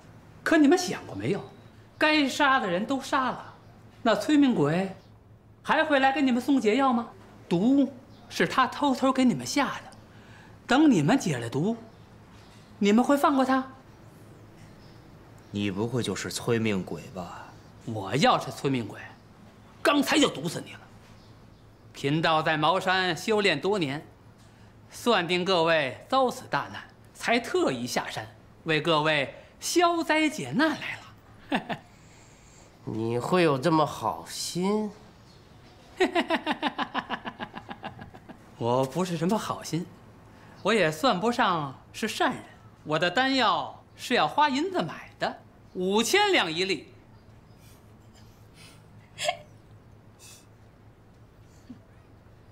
你是说，你的灵丹能解掉苗教的蛊毒？哼何止是蛊毒啊！就连西域毒王莫千里的追魂咒，碰到这颗药丸，也不起任何作用啊！那老婆子倒要看看你有多大的本事！你要干什么？童儿，童儿，你，童儿，童儿，你，你到底是什么人？我就是这蛊毒的主人，苗教教主蓝婆子。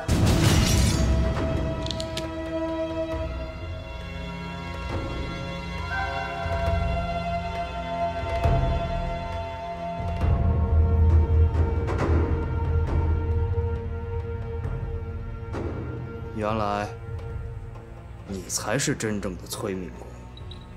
放屁！我老婆子要杀人，还用得着找你们这帮废物吗？那催命鬼偷了我的金钟儿，到处下毒，我是为了找他才到这里来的。金钟儿就是给你们下蛊的毒虫，要不然那催命鬼有什么能耐能控制你们？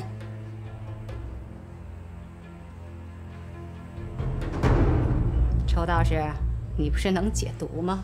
你徒弟快死了，你倒是救他呀！哎呦蓝教主，我错了，我真是有眼不识泰山呐！我刚才都是瞎说的，我哪会解毒啊？我是在饭馆里听见魏大侠和杜大侠聊天，才知道他们中了毒。不瞒你说，我就是想过来骗点钱花。臭道士，你敢耍我！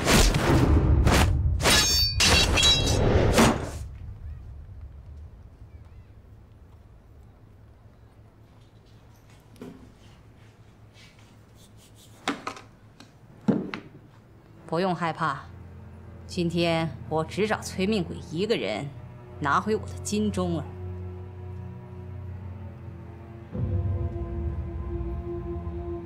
既然你也是来找催命鬼的，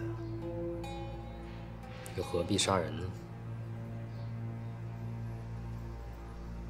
你的栗子吃完了，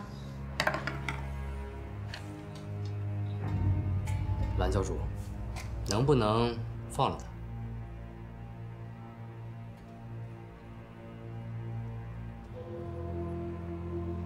蓝教主，我错了，我真是有眼不识泰山的，我刚才都是瞎说的，我。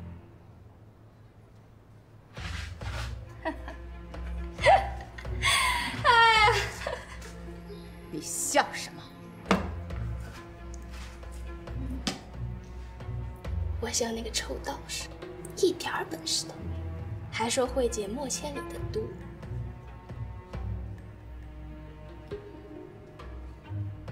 放心吧，你徒弟他一点事也没有，把栗子塞了他嘴里。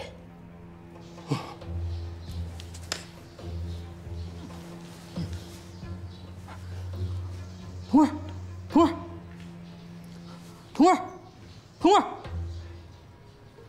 他用的根本不是蛊毒。童儿，他活了，他活了。多管闲事儿！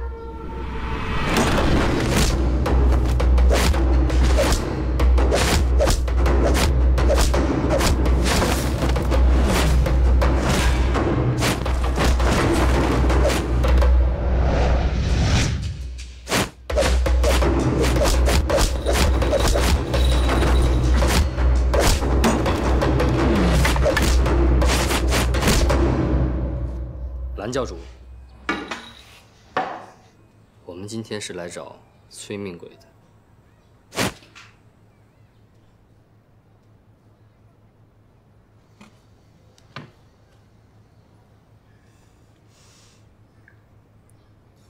臭丫头，用栗子解了道童的毒。那莫千里是你什么人？我师傅。既然赵姑娘是莫千里的高徒，就一定能解我们身上的蛊毒。你们的毒根本没得解。你说什么？苗教的蛊毒，只有下蛊的人才能解开。我没记错的话，这蛊虫是蓝婆子养的吧？她也许能帮到你们。哼 哼好一个伶牙俐齿的丫头！蓝教主，这小姑娘说的，是不是真的？没错，你们体内的毒，确实只有催命鬼能解。不过，我还有一种办法。什么办法？杀掉催命鬼，这样才再也没有人能控制你们体内的蛊虫。催命鬼就在这间屋里，你们打打闹闹折腾了半天，估计你们今天谁也离不开这间屋。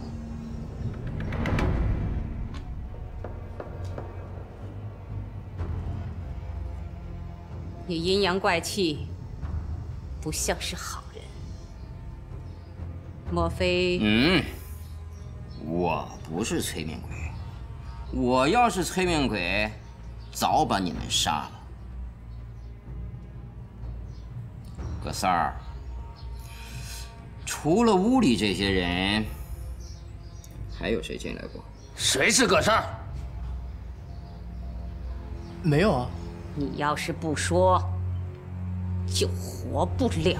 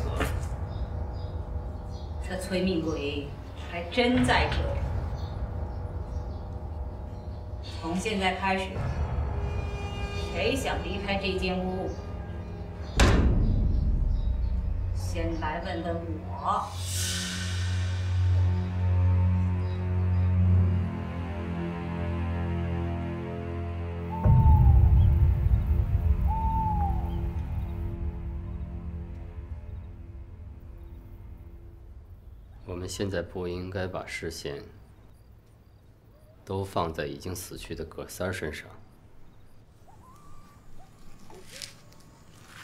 却忽略了我们身边的人。如果催命鬼再次用蛊毒杀人，蓝教主，你是不是就能把他找出来？当然，好，在场的所有人，除了蓝教主和他孙女以外，每个人都有嫌疑。既然大家都中了毒，蛊毒发作是死，找不出催命鬼，走出客栈也是死。与其等死，还不如让蓝教主在每个人身上再下一次蛊。你这什么馊主意？因为真正的催命鬼是不会给自己下毒的，反正都是死，还不如和他赌命。我是没有中毒的，现在和大家一起赌。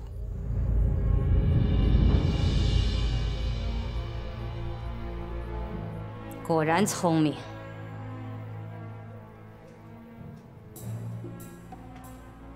我还有半瓶古药，除了我和心儿，所有的人每人一粒，必须吃下去。谁要不吃，他就是催命鬼。心儿，把药发给大家。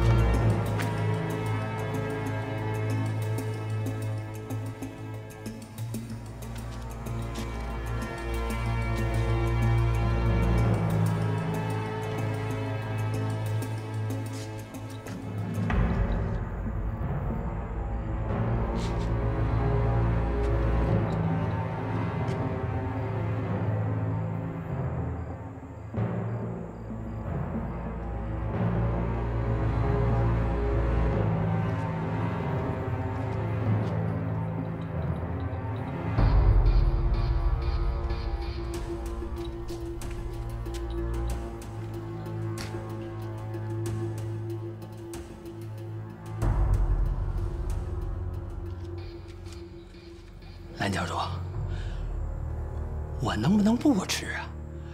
我就是个卖假药的。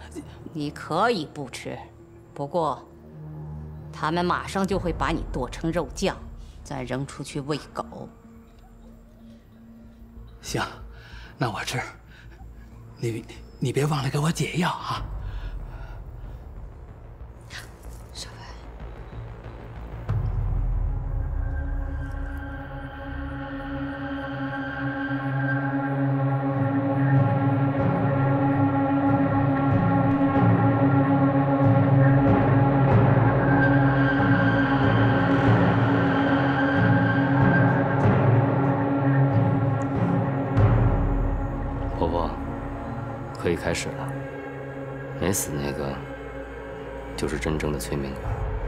屁主意？这不要害大家伙吗？闭嘴！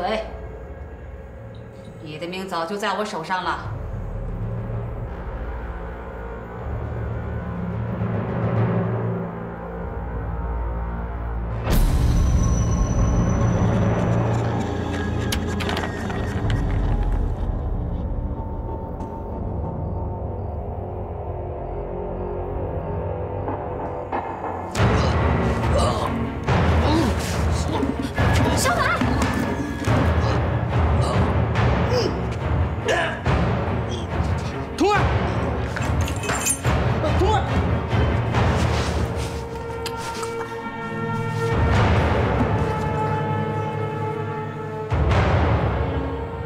起来了？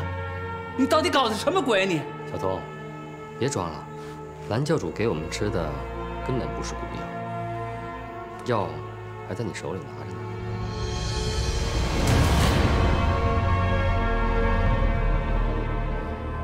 李少白，你果然聪明。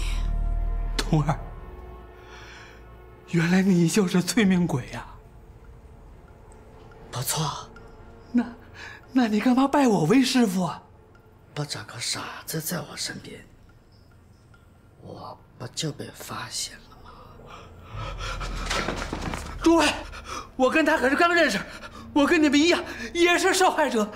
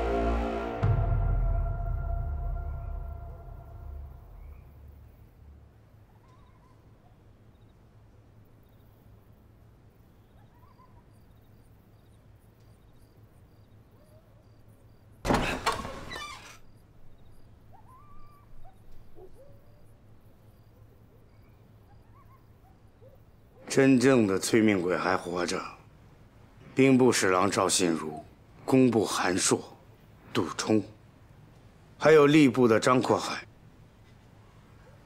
全都被杀了。他不是真正的催命鬼，你说过，真正的催命鬼是不会给自己下毒的。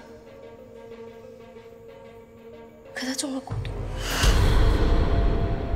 不对，从李鄂的出现，我们就被引入了催命鬼的圈套。他抛出一条线索给我们，就是为了让我们往错误的方向去。四处贴黄符装神弄鬼，就是为了混淆视听。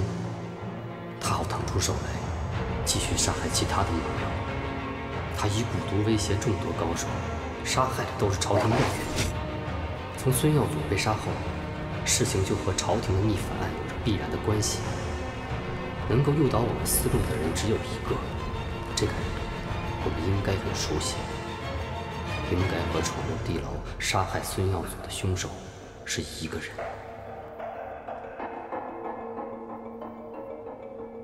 我终于想明白了。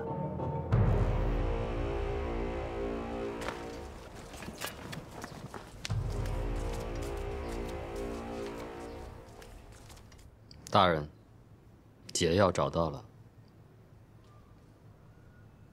啊，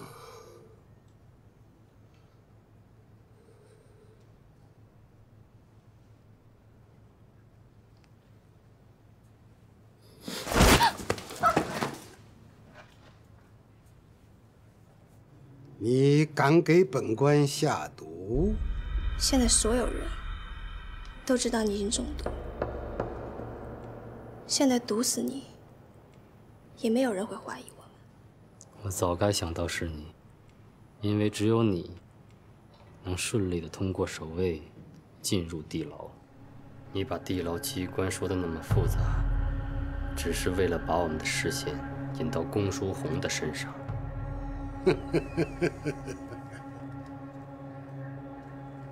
本官让你们失望了。《地狱游记》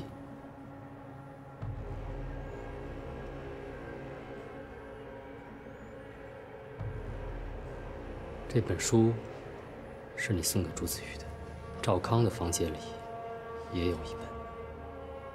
你在这个书上下了一种叫空心楠的毒药，这种药无色无味，很难被人察觉。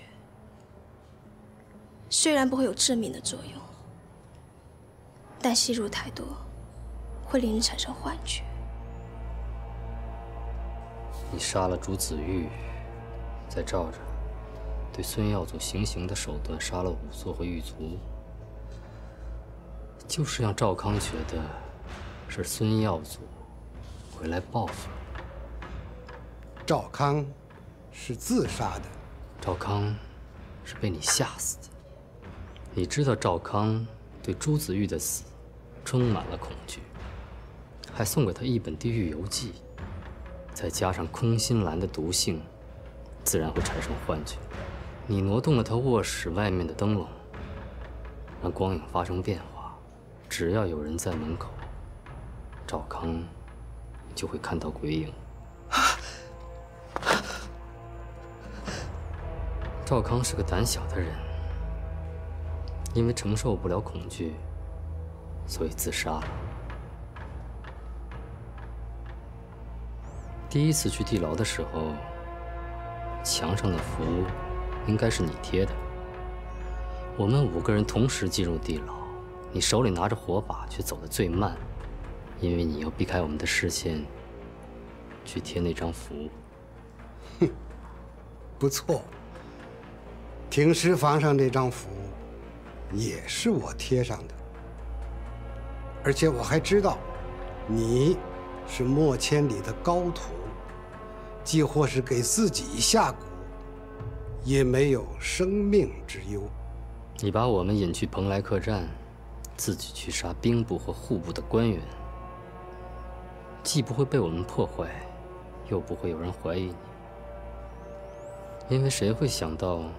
催命鬼会给自己下毒呢，更没人相信一个卧床不起的病人会到处杀人。我的计划是不是很完美？你确实很有手段。你杀孙耀祖只是一个幌子，杀赵康、朱子玉、兵部、户部的官员，才是你真正的目的。不杀孙耀祖，怎么会让你们相信是恶鬼在报复？在这次州府官员逆反案中，你拿到了一份名册，我这也有一份。只不过，我这份名册全是顺从官员的名单，他们接到了夜叉令，却不肯造反，结果都是死路一条。逆反官员的名册上，为什么没有你的名字？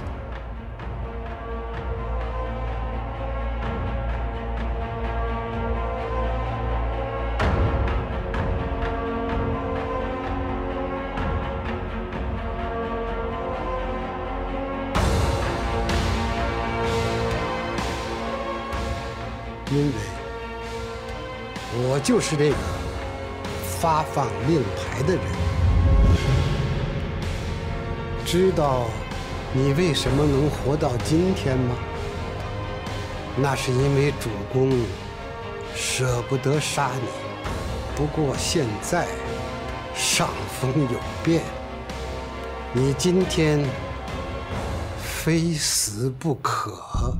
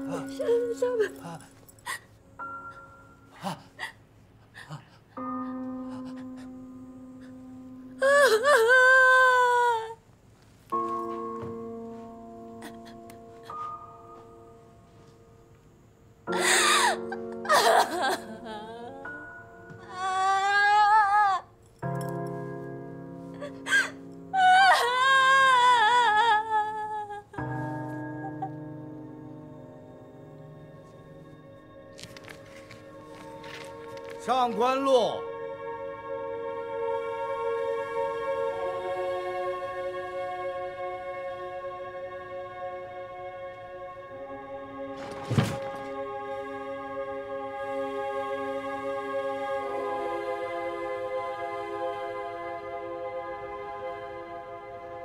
上官大人，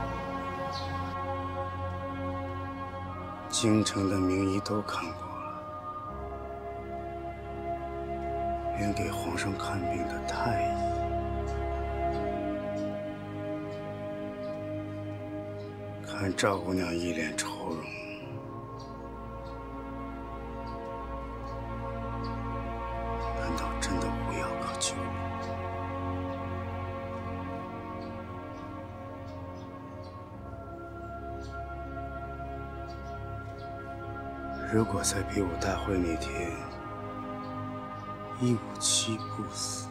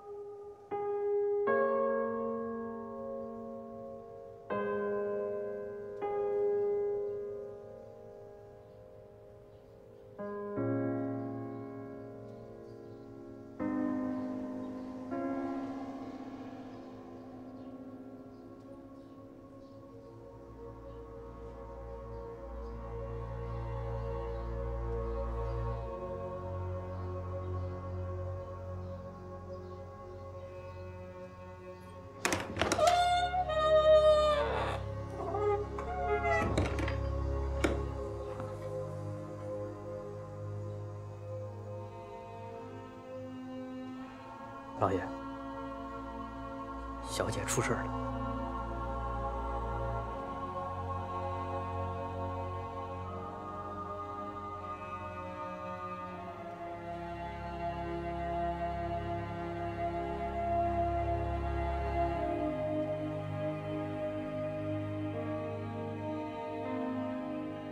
他怎么样？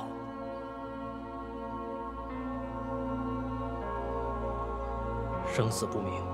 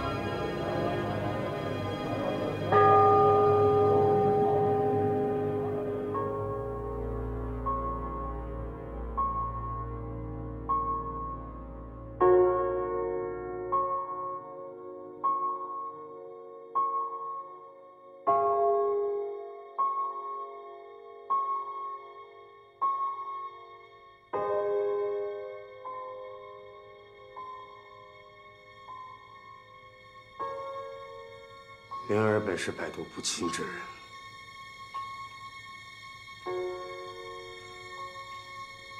可他最惧怕的，就是他师父莫千里养的那条西域毒虫。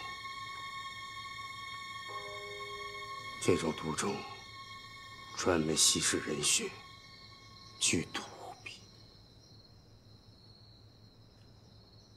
可就在他吸食灵儿的血之后，却变成了这个世上最好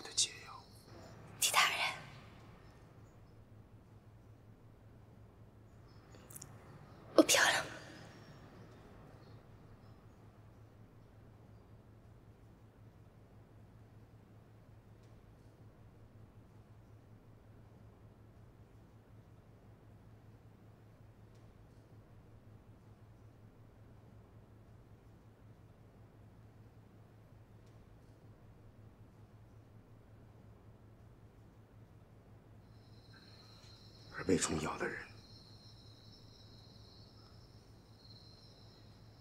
就再没有生还的可能。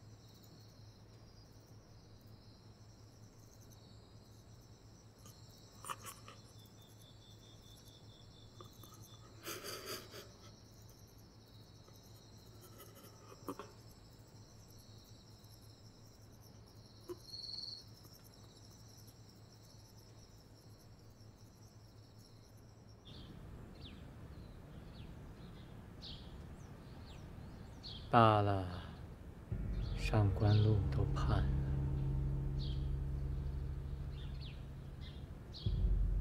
太子不可灰心，大宋江山还指望太子君临天下。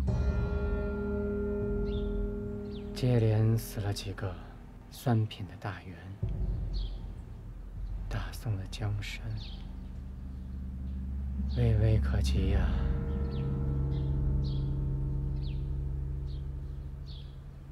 路漫漫，其修远兮，勿欲与君上下求索。听说将军府闹鬼，庞将军的大公子已暴毙，二公子病魔缠身。庞将军戎马一生，为国为民，立下了诸多战绩，没想到却如此下场。太子，公叔弘最近找过庞将军。为何？公叔弘深受皇上重恩，太子交与他的事，我把他说给庞将军。我做的事情都是关于稳定朝政的，不怕父皇说我。倒是将军府的事，没有那么简单吧？太子的意思，